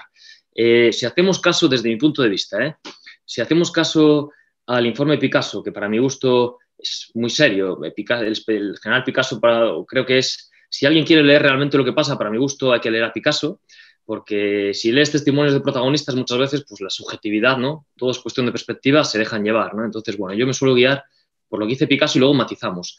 Y luego las, eh, las memorias de Berenguer, la que habla de, sus operaciones en sus operaciones posteriores, eh, también matiza un poco los datos. Berenguer viene a decir que las jarcas, por su propia naturaleza, casi es imposible pensar en algo más de 2.000 soldados. Yo me inclino, es una opinión también, ¿no? Otro me puede decir, son 300. Bueno, pues, pues si me lo justifican, pues me lo podríamos discutirlo. Pero yo creo que atendiendo a, a Berenguer, que es un militar muy serio, y si queréis a Picasso y la propia conformación y la naturaleza de las jarcas, es muy difícil, también informes franceses, ¿eh? es muy difícil pensar en un jarca de más de 2.000 soldados. Entonces, 2.000 soldados responsables de la muerte de, de 10.000 soldados españoles. Bueno, realmente son 2.000 soldados en el mejor de los casos, quizás son mil, eh, son lo que tienen los Tensamán y los Beni Reagel eh, de Adelcrin, lo que está enfrente de Anual, digamos. Eso es lo que está enfrente de Anual, es decir, frente a frente, Fernández Silvestre y Adelcrin, eso es lo que tienen. ¿Qué tiene Fernández Silvestre en Anual? Aproximadamente unos 5.000 soldados, se le puede calcular más o menos, ¿no? La potencia de fuego española comparada con la rifeña es, eh, pues, enfrentar, no sé, no sé qué deciros, es bueno, lo español era el apocalipsis de fuego comparado con lo que te podía presentar eh, un rifeño. Entonces, la pregunta que, me, justo haces, aunque es un montón de causas, hay una, hay una concatenación de malas, bueno, pues de malas decisiones y casi hasta de casualidades, pero realmente, ¿qué hubiera pasado? Jugamos otra vez ¿no? a la historia ficción. ¿Qué hubiera pasado si Fernández Silvestre se hubiera quedado con sus 5.000 soldados en anual con esa potencia de fuego abrumadora? pues estoy seguro que Adelcrin no se hubiera atrevido a, atacar, porque ¿a dónde vas con lo que tenías? Que tampoco sabemos muy bien lo que tenía. Entonces, la matanza de la, retirada es un poco porque Fernández Silvestre por sorpresa se retira bueno, ya digo que hay que leer el libro para entender más esto ¿eh? en detalle, pero viene a ser una retirada por sorpresa para que nadie se entere y nadie se entera, no se enteran ni sus propios oficiales. Entonces la cadena de mando se rompe, comienza la anarquía, la, cada cual se va retirando y más o menos en orden al principio, es decir, sí que había unidades que más o menos iban defendiéndose, incluso se montan una especie de guerrillas alrededor, hay, hay unidades de defensa, pero en el momento en que los rifeños ven que los españoles se retiran, pues, pues los ojos se les deben poner con cara de, con ojos, los ojos de dólar, ¿no? En el expediente Picasso, mira que Picasso nunca pone nada, Picasso es muy difícil encontrar una frase subjetiva. Y sin embargo, hay un momento en que dice algo así como el espíritu de codicia, el afán de codicia de los rifeños en ese momento eh, estalla. Y es verdad, claro, para un, nativo, un nativo eh, rebelde de la zona, rebelde de la causa española, poder conseguir cinco o seis fusiles Mauser, pues es arreglarse la vida, como a nosotros que nos toque un millón de euros. Y, claro, no son cinco o seis fusiles Mauser, es eh, ahí hay cañones, hay monturas, hay munición de todo tipo, hay fusiles de todo tipo, o sea, eso es, le ha tocado el euromillones multiplicado por 100. Entonces, los rifeños, según se van retirando los españoles, los rifeños se les lanzan encima. Aquí también hay divergencia de opiniones y de testimonios. Algunos dicen que, que se lanzan en tres columnas, otros dicen que en cinco, algunos dicen que eso de que formen columnas, pues que se asemeja a la disciplina de una de las fuerzas regulares y que se, temía que hubiera mucho desertor. Bueno, aquí ya hay, mucha, hay mucho matiz. El caso es que cuando se retiran los españoles, por sorpresa y de manera un poco eh, atropellada, los rifeños se les echan encima. Los españoles, cuando ven a los rifeños que se les echan encima, comienzan al sálvase quien pueda. Y entonces ahí es cuando ya cambia la cosa, porque esta retirada atropellada lo que genera es que eh, muchos de los, de los marroquíes que estaban al servicio de España, al ver esta desbandada y al ver a, a sus hermanos rifeños echándose encima, dicen, eh, ¿puedo seguir fiel a España, que está en retirada, y, matarme con mis hermanos marroquíes o cambiarme de bando? Y entonces, pues yo creo que es también la lógica un poco humana, se cambian de bando y comienzan a apuntar a los propios soldados españoles a los que se supone que están defendiendo, porque recordemos que estas son las fuerzas de choque, entonces, que eran los que defendían a los españoles en retirada, se les vuelven en contra y comienzan a fusilar a españoles. Tampoco es una persecución salvaje porque se entretienen a recoger el botín. Lo que buscan es botín. Pero de la, esta desbandada general, lo que genera es que todas las, las cávilas que estaban en retaguardia y que no habían sido desarmadas se subleven también. Porque a enemigo que huye, en este caso no hay puente de plata, hay matanza. Y entonces eh, anual no se corresponde solo con el ataque de Abdel y los Tensaman y los Beni Reagel eh, o los Beni Tuzin, se, corresponde más bien con una insurrección generalizada que prende la mecha que ha aprendido por eh, el ataque de Abdel y sus pequeñas victorias en Monte Abarram o en Igeriben. Entonces, es una, es una pequeña insurrección pues que, le cuesta a España todo el territorio dominado desde 1909 hasta 1921 y de mil almas, que se dice rápido, ¿eh? De mil almas que sufrirán lo, indecible. No quiero entrar en ese detalle porque no cenamos. Sí. Eh, vamos, prefiero que entremos en otro tipo de detalles, que es el de la elaboración de, de a 100 años de anual en la guerra de Marruecos, del que tú has sido editor. Hemos tenido el placer de, de pues bueno, disfrutar de esa experiencia conjunta contigo. Nosotros hemos tenido el placer de publicar este libro que, tú has editado, has coordinado estas 14 firmas que comentábamos antes, incluido un epílogo de, Lorenzo Silva. Y, bueno, quiero que, aunque sea brevemente, me cuentes un poco cómo ha sido para ti esta experiencia de, editor, de coordinador de, 14 autorazos como los que participan en este libro, eh, de recopilador de las 170 eh, imágenes que, incluye el libro. Hemos hablado antes que al menos una cincuentena probablemente inéditas. Eh, entiendo que también has participado en el proceso de documentación de los 23, 25 mapas que, incluye el libro. Bueno, cuéntanos para ti cómo, cómo, ha sido esa experiencia, que ya adelanto que para nosotros, eh, como Despertaferro Ediciones, ha sido un auténtico lujo trabajar contigo. Bueno, pues voy a intentar, gracias Javier, voy a intentar ser breve porque si no me lo dices me enrollo, ese es mi problema. Lo primero, agradeceros que habíais confiado en mí. Realmente me he sentido muy a gusto trabajando con vosotros, eh, con, Alberto, con Mónica y ahora con, contigo. Estoy realmente muy contento porque me habéis dado mucha libertad y, yo creo que lo que ha salido, este, este libro, eh, pues realmente es, para mi gusto, es una, es una joya. Es un libro, casi podría calificarle como artesanal, ¿no? Porque cada detalle, cada pequeño matiz ha estado trabajado. ¿no? Y, sí que quiero agradecer, aprovecho, aquí tengo a Mercedes y a Fernando, eh, aprovecho para extenderlo a todos los autores que han participado, pues que hayan trabajado tanto y tan bien en, este libro. ¿no? Me gustaría destacar, y voy a ser breve, o lo voy a intentar, eh, algunas cuestiones que me han, bueno, pues que me han sido especialmente satisfactorias. Una de ellas, las imágenes, como bien has dicho, ¿no?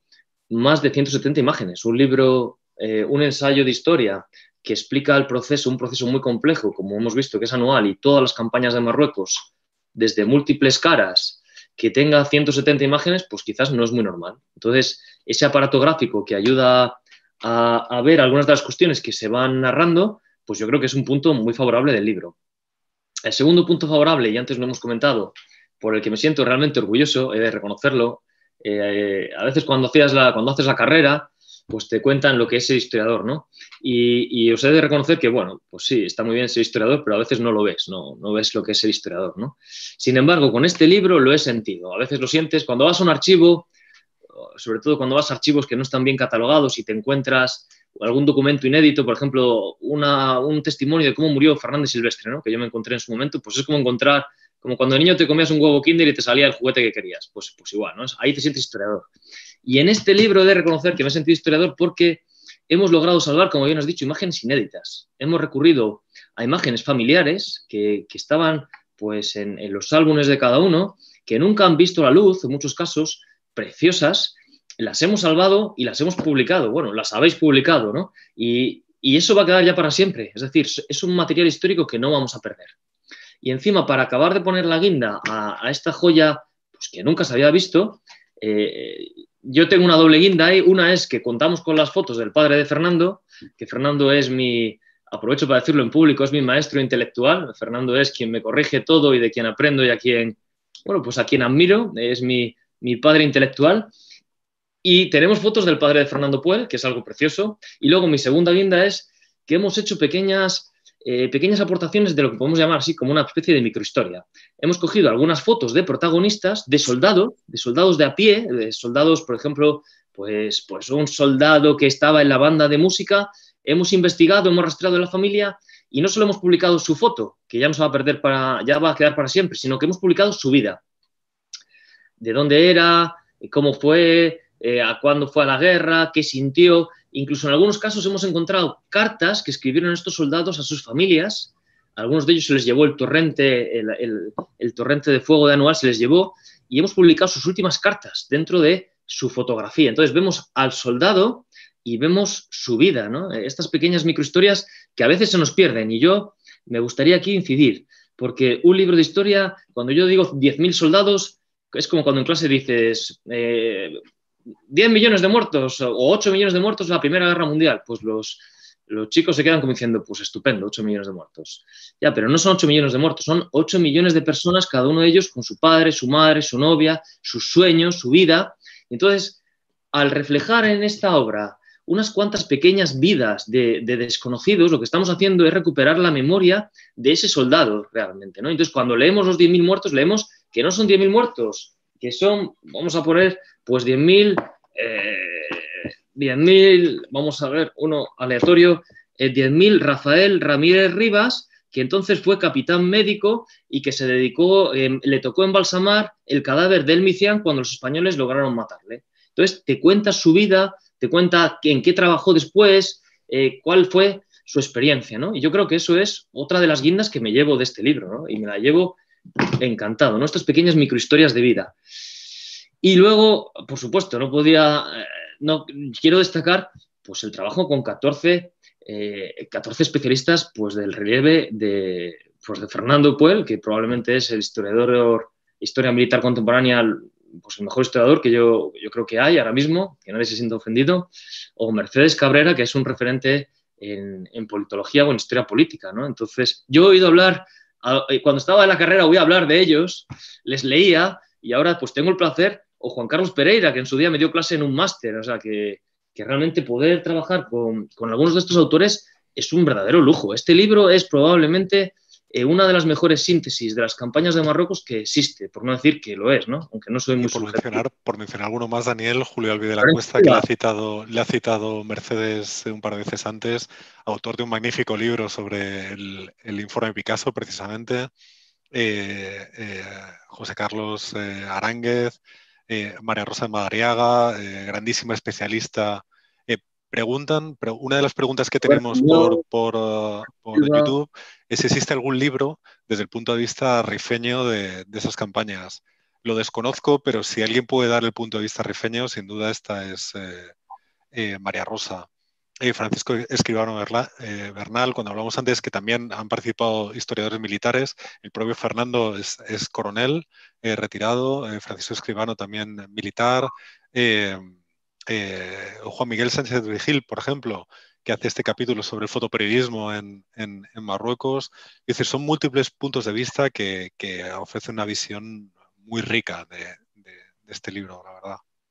Yo, para acabar, lo tengo apuntado para que no se me olvide. No voy a citar a los autores, que todos ellos son magníficos, pero sí que voy a decir las disciplinas que se tratan. El, libro es, es multifaz, es muy poliédrico, para explicar un fenómeno muy complejo eh, hay que explicarlo desde múltiples puntos de vista. Entonces tenemos pues, politología o historia política, relaciones internacionales, tenemos un capítulo para, explicar cómo se llega ahí, la historia militar más tradicional, digamos, la que cuenta más bien cómo es la operación, la táctica, tenemos historia militar nueva, nueva historia militar, que habla del soldado, del común del soldado, tenemos un capítulo en cuestiones de memoria, eh, qué quedó en la memoria colectiva, que eso es algo también una perspectiva muy nueva, muy novedosa, eh, tenemos algo de periodismo, incluso de arte, porque el capítulo de fotografía no deja de ser una cuestión artística y periodística. Eh, y tenemos, tenemos ensayo, eh, Tenemos a Lorenzo Silva que hace un epílogo que es un ensayo de una enorme calidad, Y que, que le da una, pues, otra vez repito la metáfora, le da una guinda a este libro, pues, pues, pues muy deliciosa. Entonces, yo le estoy volviendo a leer otra vez, le he leído múltiples veces durante la edición, he leído cada capítulo suelto y ahora le estoy volviendo a leer cuando, cuando me dejan en casa, estoy volviendo a leerlo y estoy disfrutando muchísimo con el, libro, ¿no? Que además eh, tiene eh, un aparato de fuentes y de bibliografía potentísimo. Si alguien quiere hacer una tesis doctoral o quiere hacer una investigación sobre esto, eh, en el capítulo de fuentes se ve claramente que es un libro que no solo es un libro, digamos, que, que, recopila cuestiones que ya se han dicho, no, no, no, es un libro que da aportes, eh, aporta eh, nuevas perspectivas y aporta investigaciones novedosas al estado de la cuestión de las campañas de Marruecos. Sin, ninguna, sin ningún género de dudas. Eh, aunque nos hemos excedido ya un poquito del tiempo que teníamos previsto para esto, no quiero terminar sin al menos lanzar algunas de las preguntas, que son muchas, que nos están trasladando los oyentes tanto por YouTube como por, como por Zoom. Empiezo y, ante todo pido disculpas a todos porque no, me no nos va a dar tiempo a poder eh, trasladar todas. Voy a hacer una selección y, eh, pido disculpas a, todos los demás. En YouTube, eh, Daniel Galán Pérez nos pregunta por qué no se abre expediente a los generales de Melilla que no acudieron a socorrer el Monte Ruiz con, la Legión. ¿Por qué no enviaron reconocimientos para averiguar cuántos rifeños había enfrente? Que, que la verdad que eran bastante pocos. Os lanzo la pregunta, igual Fernando es... Eh, no, yo ni, ni idea. No sé si Dani sabe algo de eso. ¿Por qué no bueno, se realmente hay mucho... ¿Por qué no se les expedienta? Hmm. ¿Eh? Sí, sí, esa es la pregunta. ¿Por qué no se les expedienta? Pues no sé. ¿Tú sabes? En realidad, es que no se plantean en ese momento Berenguer, que es el que es el alto comisario, no voy a contestar directamente a la pregunta porque no, lo sé, porque realmente yo creo que directamente no se plantea, es que Berenguer no se plantea, no se plantea avanzar, se plantea en ese momento eh, aguantar y defender Melilla, que es lo que se tiene, se tiene pánico a que Melilla pueda caer, y, es que Melilla no había nada. Antes creo que lo ha dicho Fernando, llegan a, Nador y, se creen que en cualquier momento van a... en Melilla se vive pánico. Entonces no hay es bastante estático. Es más, no se avanza, no se avanza. Inicialmente lo único que se hace es defender Melilla, porque tampoco había gente. Entonces, bueno, hay, eh, hay una broma del periodo que yo lo he leído alguna vez, que es que se dice que la banda de música se arma en Melilla, porque no había, no había nadie. O sea que realmente eh, no creo que estuvieran, que estuvieran en la idea de avanzar a ningún lado, porque el batacazo fue enorme. Tenemos que pensar se calcula, otra vez con cifras, las cifras las cojo con, pinzas, se calcula que más o menos tendría que haber aproximadamente unos 20.000 soldados en, la Comandancia General de Melilla. Eh, mueren 10.000, ¿eh? Bueno, mueren, en este momento no han muerto todavía porque realmente quedan bolsas en Monterrey, en Celuán, en Nador, pero digamos que están muertos o inutilizados 10.000 soldados. ¿eh? Nos preguntan también, eh, al hilo de, esa pregunta, eh, si se sabe la cifra aproximada del número de miles de, soldados enviados de reemplazo a combatir la guerra del Rif entre 1921 y 1926. No. Esto no se, no se conoce esta, esta cifra. No. Es que todo lo de las cifras es muy complicado. O sea, el, contar en una época donde no se contaba eh, es, realmente complicado. sería un trabajo de archivo tremendo ir expedición por expedición, pero no hay, no hay estadísticas eh, globales. Habría, habría que iniciar un trabajo y eh, realmente yo no sé hasta qué punto vale la pena el, contar eh, si fueron 80.000 o 100.000. Eh, por ejemplo, para saber cuántos hombres fueron a Cuba, hay un, grupo que lleva trabajando 20 años en, Valencia. Y eh, lo van haciendo regimiento por regimiento. Y cada, cuando terminan con un regimiento, publican lo de, lo de ese regimiento y da para un artículo. Son artículos en, la red, pero eh, todavía no han conseguido hacer el global. Todos hablamos de unos 200.000 hombres, pero de ahí eh, no, no, sabemos si son 187.923 o 203.418. Eso no se lo sabe nadie. Alrededor de 200.000. Estos de Valencia lo están haciendo eh, uno por uno. Eh, por ejemplo, la cifra de, que ahora no tengo el dato aquí delante, la cifra del Barranco del Lobo, ¿por qué fue posible? Porque se recuperaron los cadáveres. Es decir, en septiembre se llega al, Barranco del Lobo, se recuperan los cadáveres y se los entierra. Y entonces, para dar las pensiones a las familias, el Ministerio de la Guerra publica una orden diciendo que en el Barranco del Lobo han muerto estos señores con nombre y apellidos. Y, les concede una pensión ridícula a las familias, pero les concede una pequeña pensión. Y de eso sí se sabe. Los muertos en anual, ¿por qué es imposible saberlo? Porque los cadáveres nunca se recuperaron. Es decir, en el Barranco del Lobo, volvemos a insistir, estaban enfrente de Melilla, a kilómetro y medio de Melilla, a la vista durante todo el verano y en septiembre cuando se va allí, eh, hombre, puede haber variaciones, pero había allí unos esqueletos y unos restos que se llevan a Melilla y se entierran en Melilla. Se crea una parte del cementerio de Melilla donde están enterrados todos juntitos, pero en, tumbas individuales. Otra cosa es que pasara como lo del, lo del avión aquel que se estrelló en Turquía, que los huesos de uno estén en la tumba del de al lado. Eso evidentemente pudo ocurrir, pero sí se pudo identificar los muertos. En el Barranco del Lobo nunca se han identificado los cadáveres ni se dieron pensiones, precisamente porque no son muertos, sino son desaparecidos. Claro. Y luego, perdóname, ya por completar. Que no se sabe realmente si no hay, no hay un cadáver. Y luego, por completar, luego estaba la cuestión de la corruptela, que antes solo la he mencionado, eh, que también afectaba al personal. En realidad, eh, una cosa es lo que está en papel y otra cosa es la realidad. Entonces, sí que se sabe pues, que muchos oficiales, por ejemplo, no estaban donde deberían estar. Eh, muchas unidades quizás estaban incompletas, pero en el papel aparecía que sí, o al revés, o, o estaban completas y en el papel venía que no. Habitualmente es más lo primero. Es decir, no se tiene muy claro siquiera yo, esto estamos hablando de anual porque se investigó. Entonces sí que se sabe pues, que realmente mucha gente no estaba donde debería estar. Y, luego además muchos, muchos oficiales pues estaban allí pero no querían estar allí. No todos los que estaban en, Marruecos.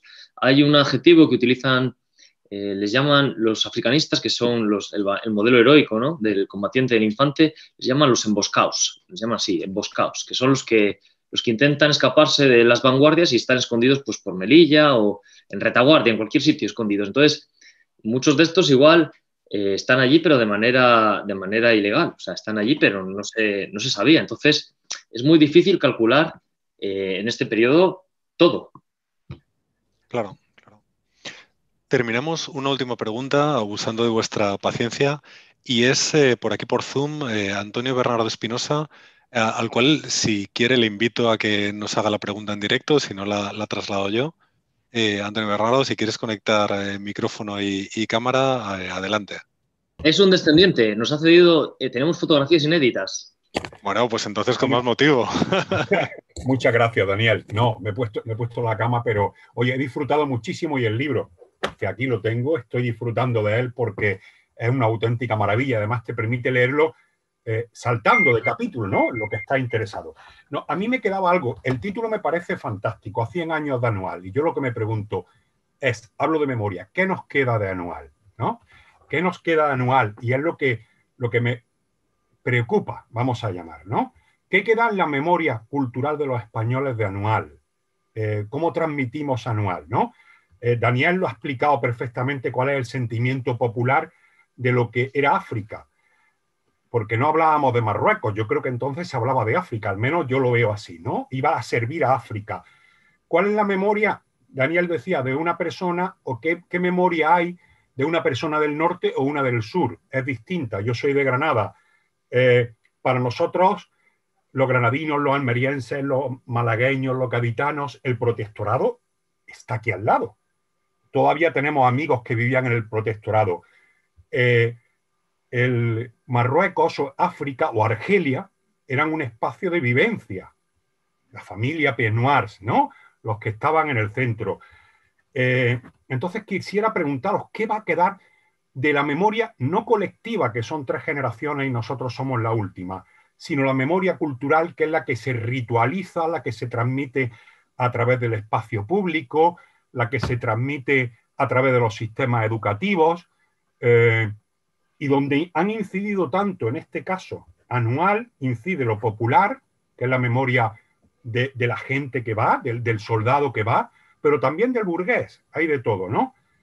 Eh, la mirada política que tanto ha incidido sobre anual, ¿no? Lo decía Mercedes, el, al principio los africanistas que de alguna forma se adueñan del discurso sobre la guerra de África, es decir, eh, Franco, Millán Astray, eh, Sanjurjo, Muñoz Grandes.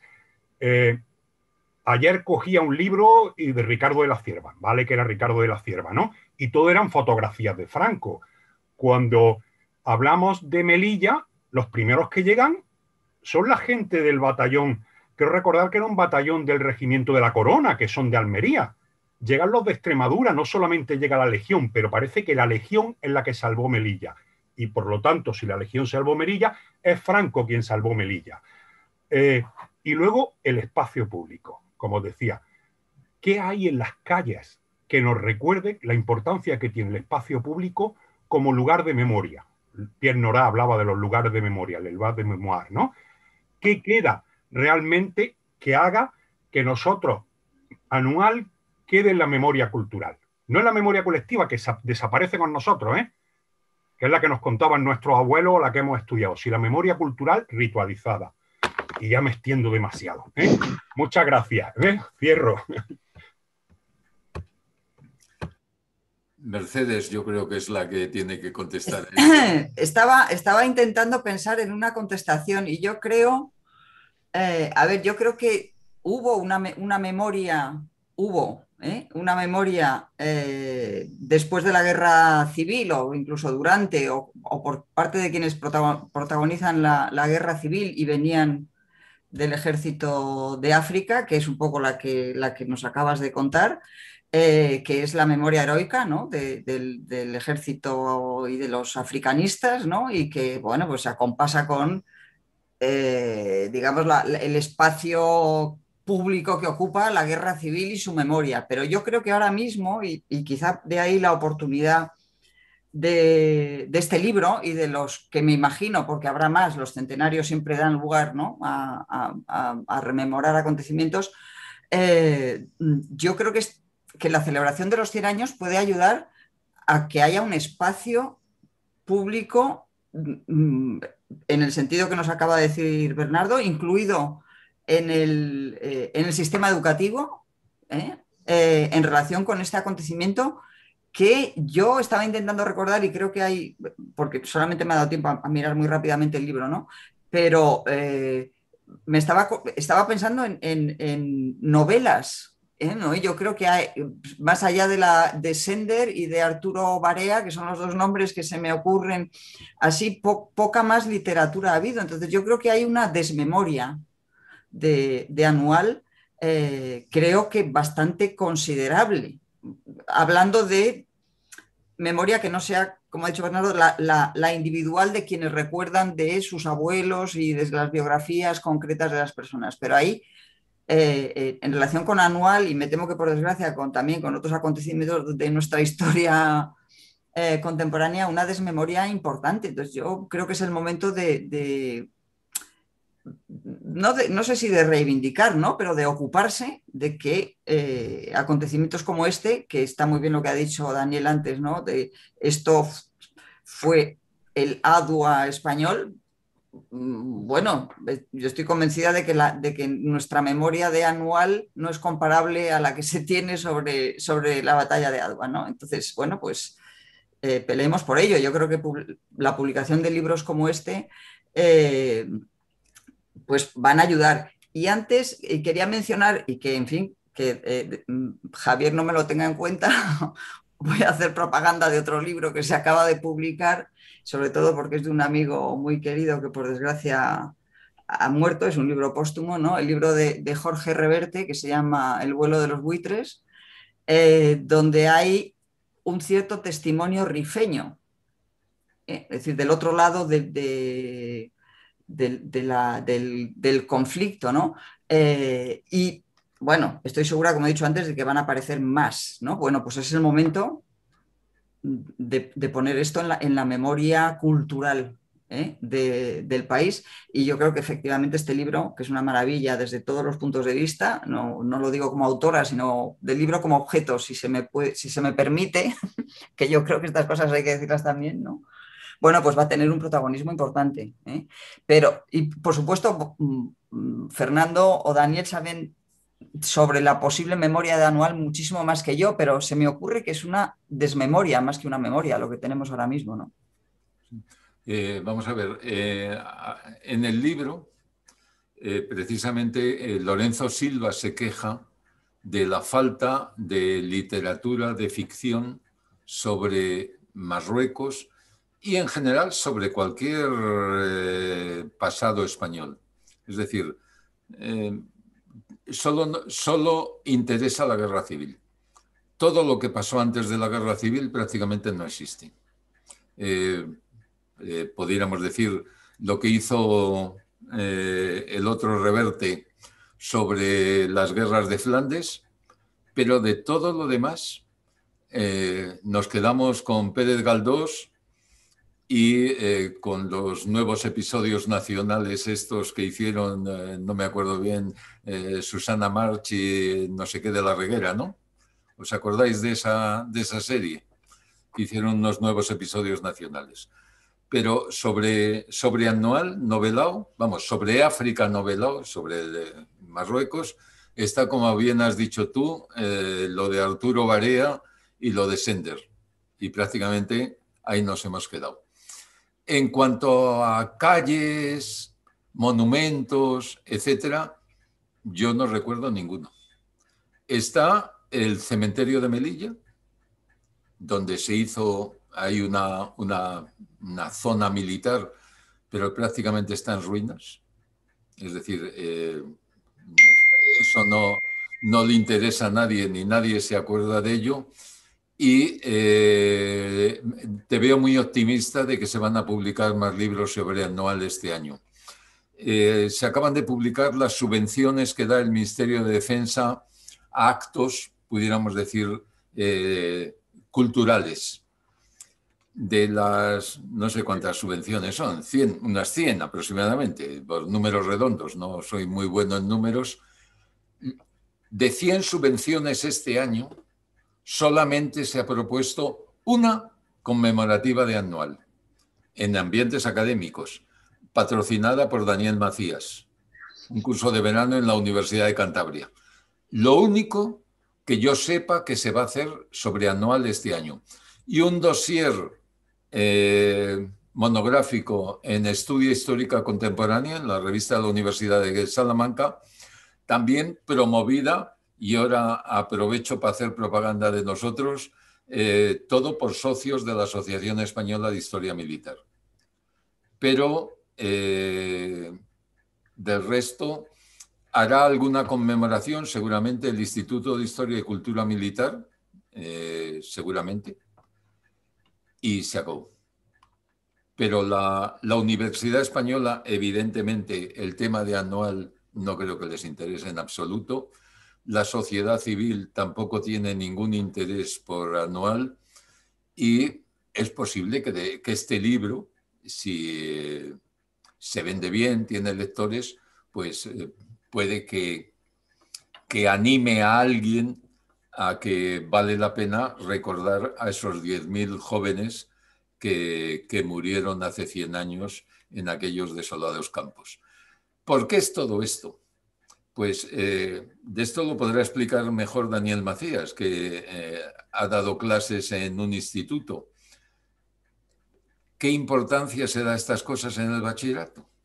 Si no las contamos, los niños ingleses siguen recitando la oda de Tennyson a la, a la carga de la brigada ligera.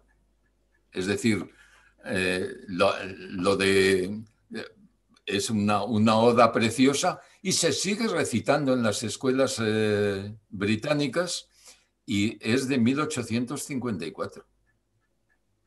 Y siguen rememorando aquello y sobre la carga de la Brigada Ligera, no sé si son tres películas las que se han hecho, por lo menos, ¿no? Las, de, de la, del episodio de, fashion, eh, de, de Sudán, ¿cuántas películas se han hecho de las cuatro plumas? Cuatro al menos. ¿Eh? ¿Cuántas se han hecho aquí en España de algo relacionado con eso? Eh, y la única que se ha hecho, que se ha repetido, es la de Valer, y eh, es que la realidad no se parece en nada, es decir, que es una revista, son la película del año 44 todavía se puede sostener, pero la que se ha hecho hace unos años es que es, vamos, no, no, no es para verla. Y si la ves es para llorar un poco. Es decir, los españoles, eh, lo de la memoria histórica no nos va. Pero yo creo que fundamentalmente en, esa, en esta, como en muchas otras cosas, la, el problema es la educación que se da a los niños y a los adolescentes en la escuela y en el bachillerato, que es muy lamentable desde el punto de vista humanístico. Muy, muy lamentable. No, no, no, no se crea conciencia de nación, no se crea conciencia de pueblo y estos lodos arrastran, o mejor, esos polvos arrastran lodos eh, como los que vemos en lo que se ha transformado la televisión hoy en día, en lo que se han transformado eh, la contienda política en estos días, etcétera, etcétera, etcétera. Y yo creo que fundamentalmente es un problema de, falta de educación. No de falta de educación eh, eh, en lo que al urbanismo se refiere, sino en la formación intelectual o de, conocimientos se refiere. Es decir, Daniel puede hablarnos de esto más que, que lo que yo pueda porque él lo vive en directo y yo son cosas que me imagino. Eh, eh, perdonar y me encantaría seguir con este tema, pero tengo que dejaros. ¿eh? no pensé que fuéramos a acabar tan tarde. Muchas gracias de verdad por haberme invitado a participar aquí y yo quedo emplazada con Fernando Puel para hablar de esto de la historia, la memoria y la desmemoria y la educación, que me parece que es un tema importante. Muchas gracias de verdad y, mucho éxito por el libro, no por la parte que me toque, sino porque lo merece. ¿Vale? Mercedes, un auténtico placer haber detenido esta tarde con Nada, encantada. Venga, hasta luego. Gracias. Daniel, cerramos contigo. Vale, pues volviendo al tema de la memoria, bueno, lo primero, decirle a, Antonio Bernardo que muchas gracias, porque realmente él nos ha cedido algunas de sus fotos de, su, creo que su abuelo, que era el capitán médico, y, nos ha contado toda la historia, o sea que le agradezco mucho, es uno de esos casos de esas personas que nos han cedido sus imágenes. Y en cuanto a la memoria, es un tema interesantísimo. En el libro lo, toca Lorenzo Silva, y ya que hablamos de novela, sí que el propio Lorenzo Silva, como ha dicho antes Fernando, pues habla de la escasez de novela destacada sobre el tema marroquí. Eh, yo a mí se me ocurre el bloqueo de Díaz Fernández, que probablemente también tenga cierta, cierta entidad, y luego el propio Lorenzo Silva, ¿no? El propio Lorenzo Silva tiene probablemente la mejor, para mi gusto, es una cuestión personal, la mejor novela contemporánea de literatura de narrativa contemporánea sobre la cuestión de anual, ¿no? Se llama eh, En el nombre de los nuestros, creo que es, o El nombre de los nuestros, y es una, es una joya eh, que de manera novelada pues toca muy bien el tema anual.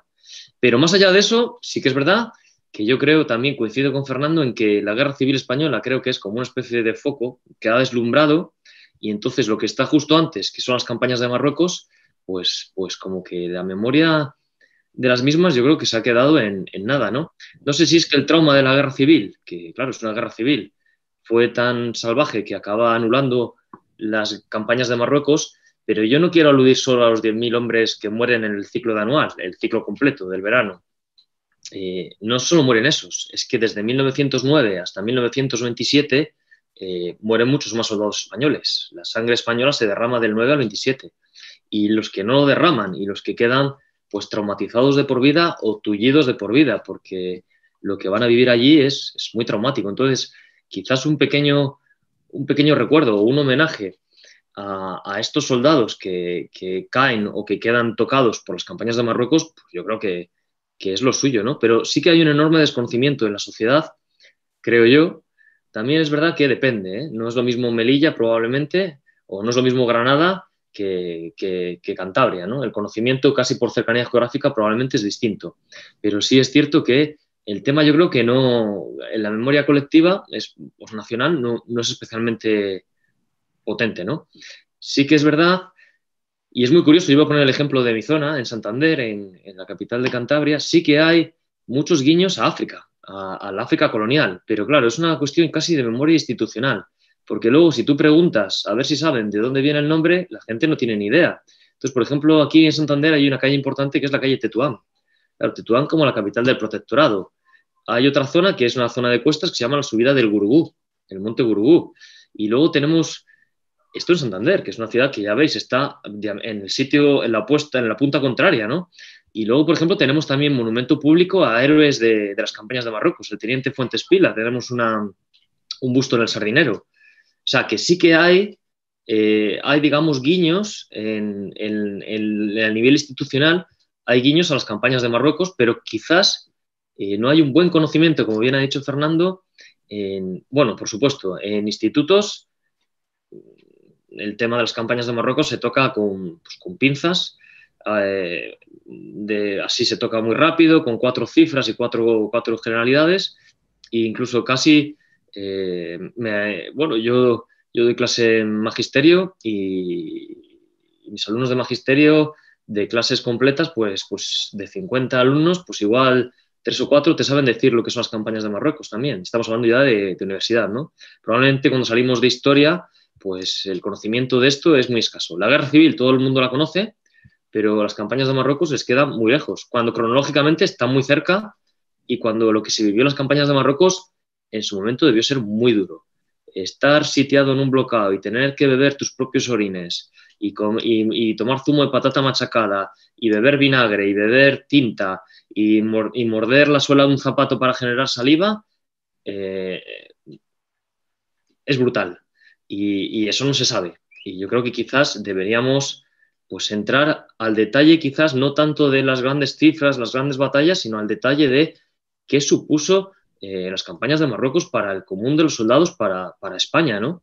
Y, y, por eso destaco que habrá otros libros probablemente, pero quizás una visión muy completa del conflicto general y una visión micro, ¿no? Al menos en parte se da en el libro que, que habéis publicado, pues realmente tenemos capítulos específicos que recuerdan que lo que vive un soldado, que recuerdan, que hablan de la memoria, o que hacen un ensayo como el que hace Lorenzo Silva reflexionando sobre a dónde vamos y, y de dónde venimos, ¿no? Los polvos y los lodos que ha dicho Fernando. Pues veo que acabamos un poco donde empezamos, eh, hablando de las reverberaciones que tenían estos nombres de Anual, Montarruit, el Barranco del Lobo, pero el desconocimiento un poco general que había en, la sociedad, que esperamos eh, haber puesto con a 100 años de Anual la guerra de, Marruecos, nuestro grano de arena, para grano de arena importante, creo, para, poder compensar un poco este, este desconocimiento y, aportar, aportar eh, pues bueno, pues, eh, lo dicho, eh, esta apasionante historia que supone, que supone este libro a múltiples niveles, como bien has explicado, Daniel. y sin más, han sido dos horas ya que se me han pasado a mí personalmente volando. solo me queda agradeceros a Mercedes, que ya se ha tenido que retirar, a Fernando, eh, a ti, Daniel, eh, muy encarecidamente el trabajo que habéis hecho en este magnífico libro, también vuestra presencia aquí esta tarde y agradecer a todos los que nos habéis estado siguiendo por Zoom o por YouTube, por, vuestra paciencia, que veo que muchos seguís ahí todavía después de, dos horas. Y ha sido un auténtico placer y os eh, emplazamos para la siguiente sesión de Diálogos de Historia que ya anunciaremos en, nuestras redes próximamente. un fuerte abrazo a todos y que tengáis buena noche. Muchas gracias. Buenas noches. Gracias. Buenas noches. Un placer.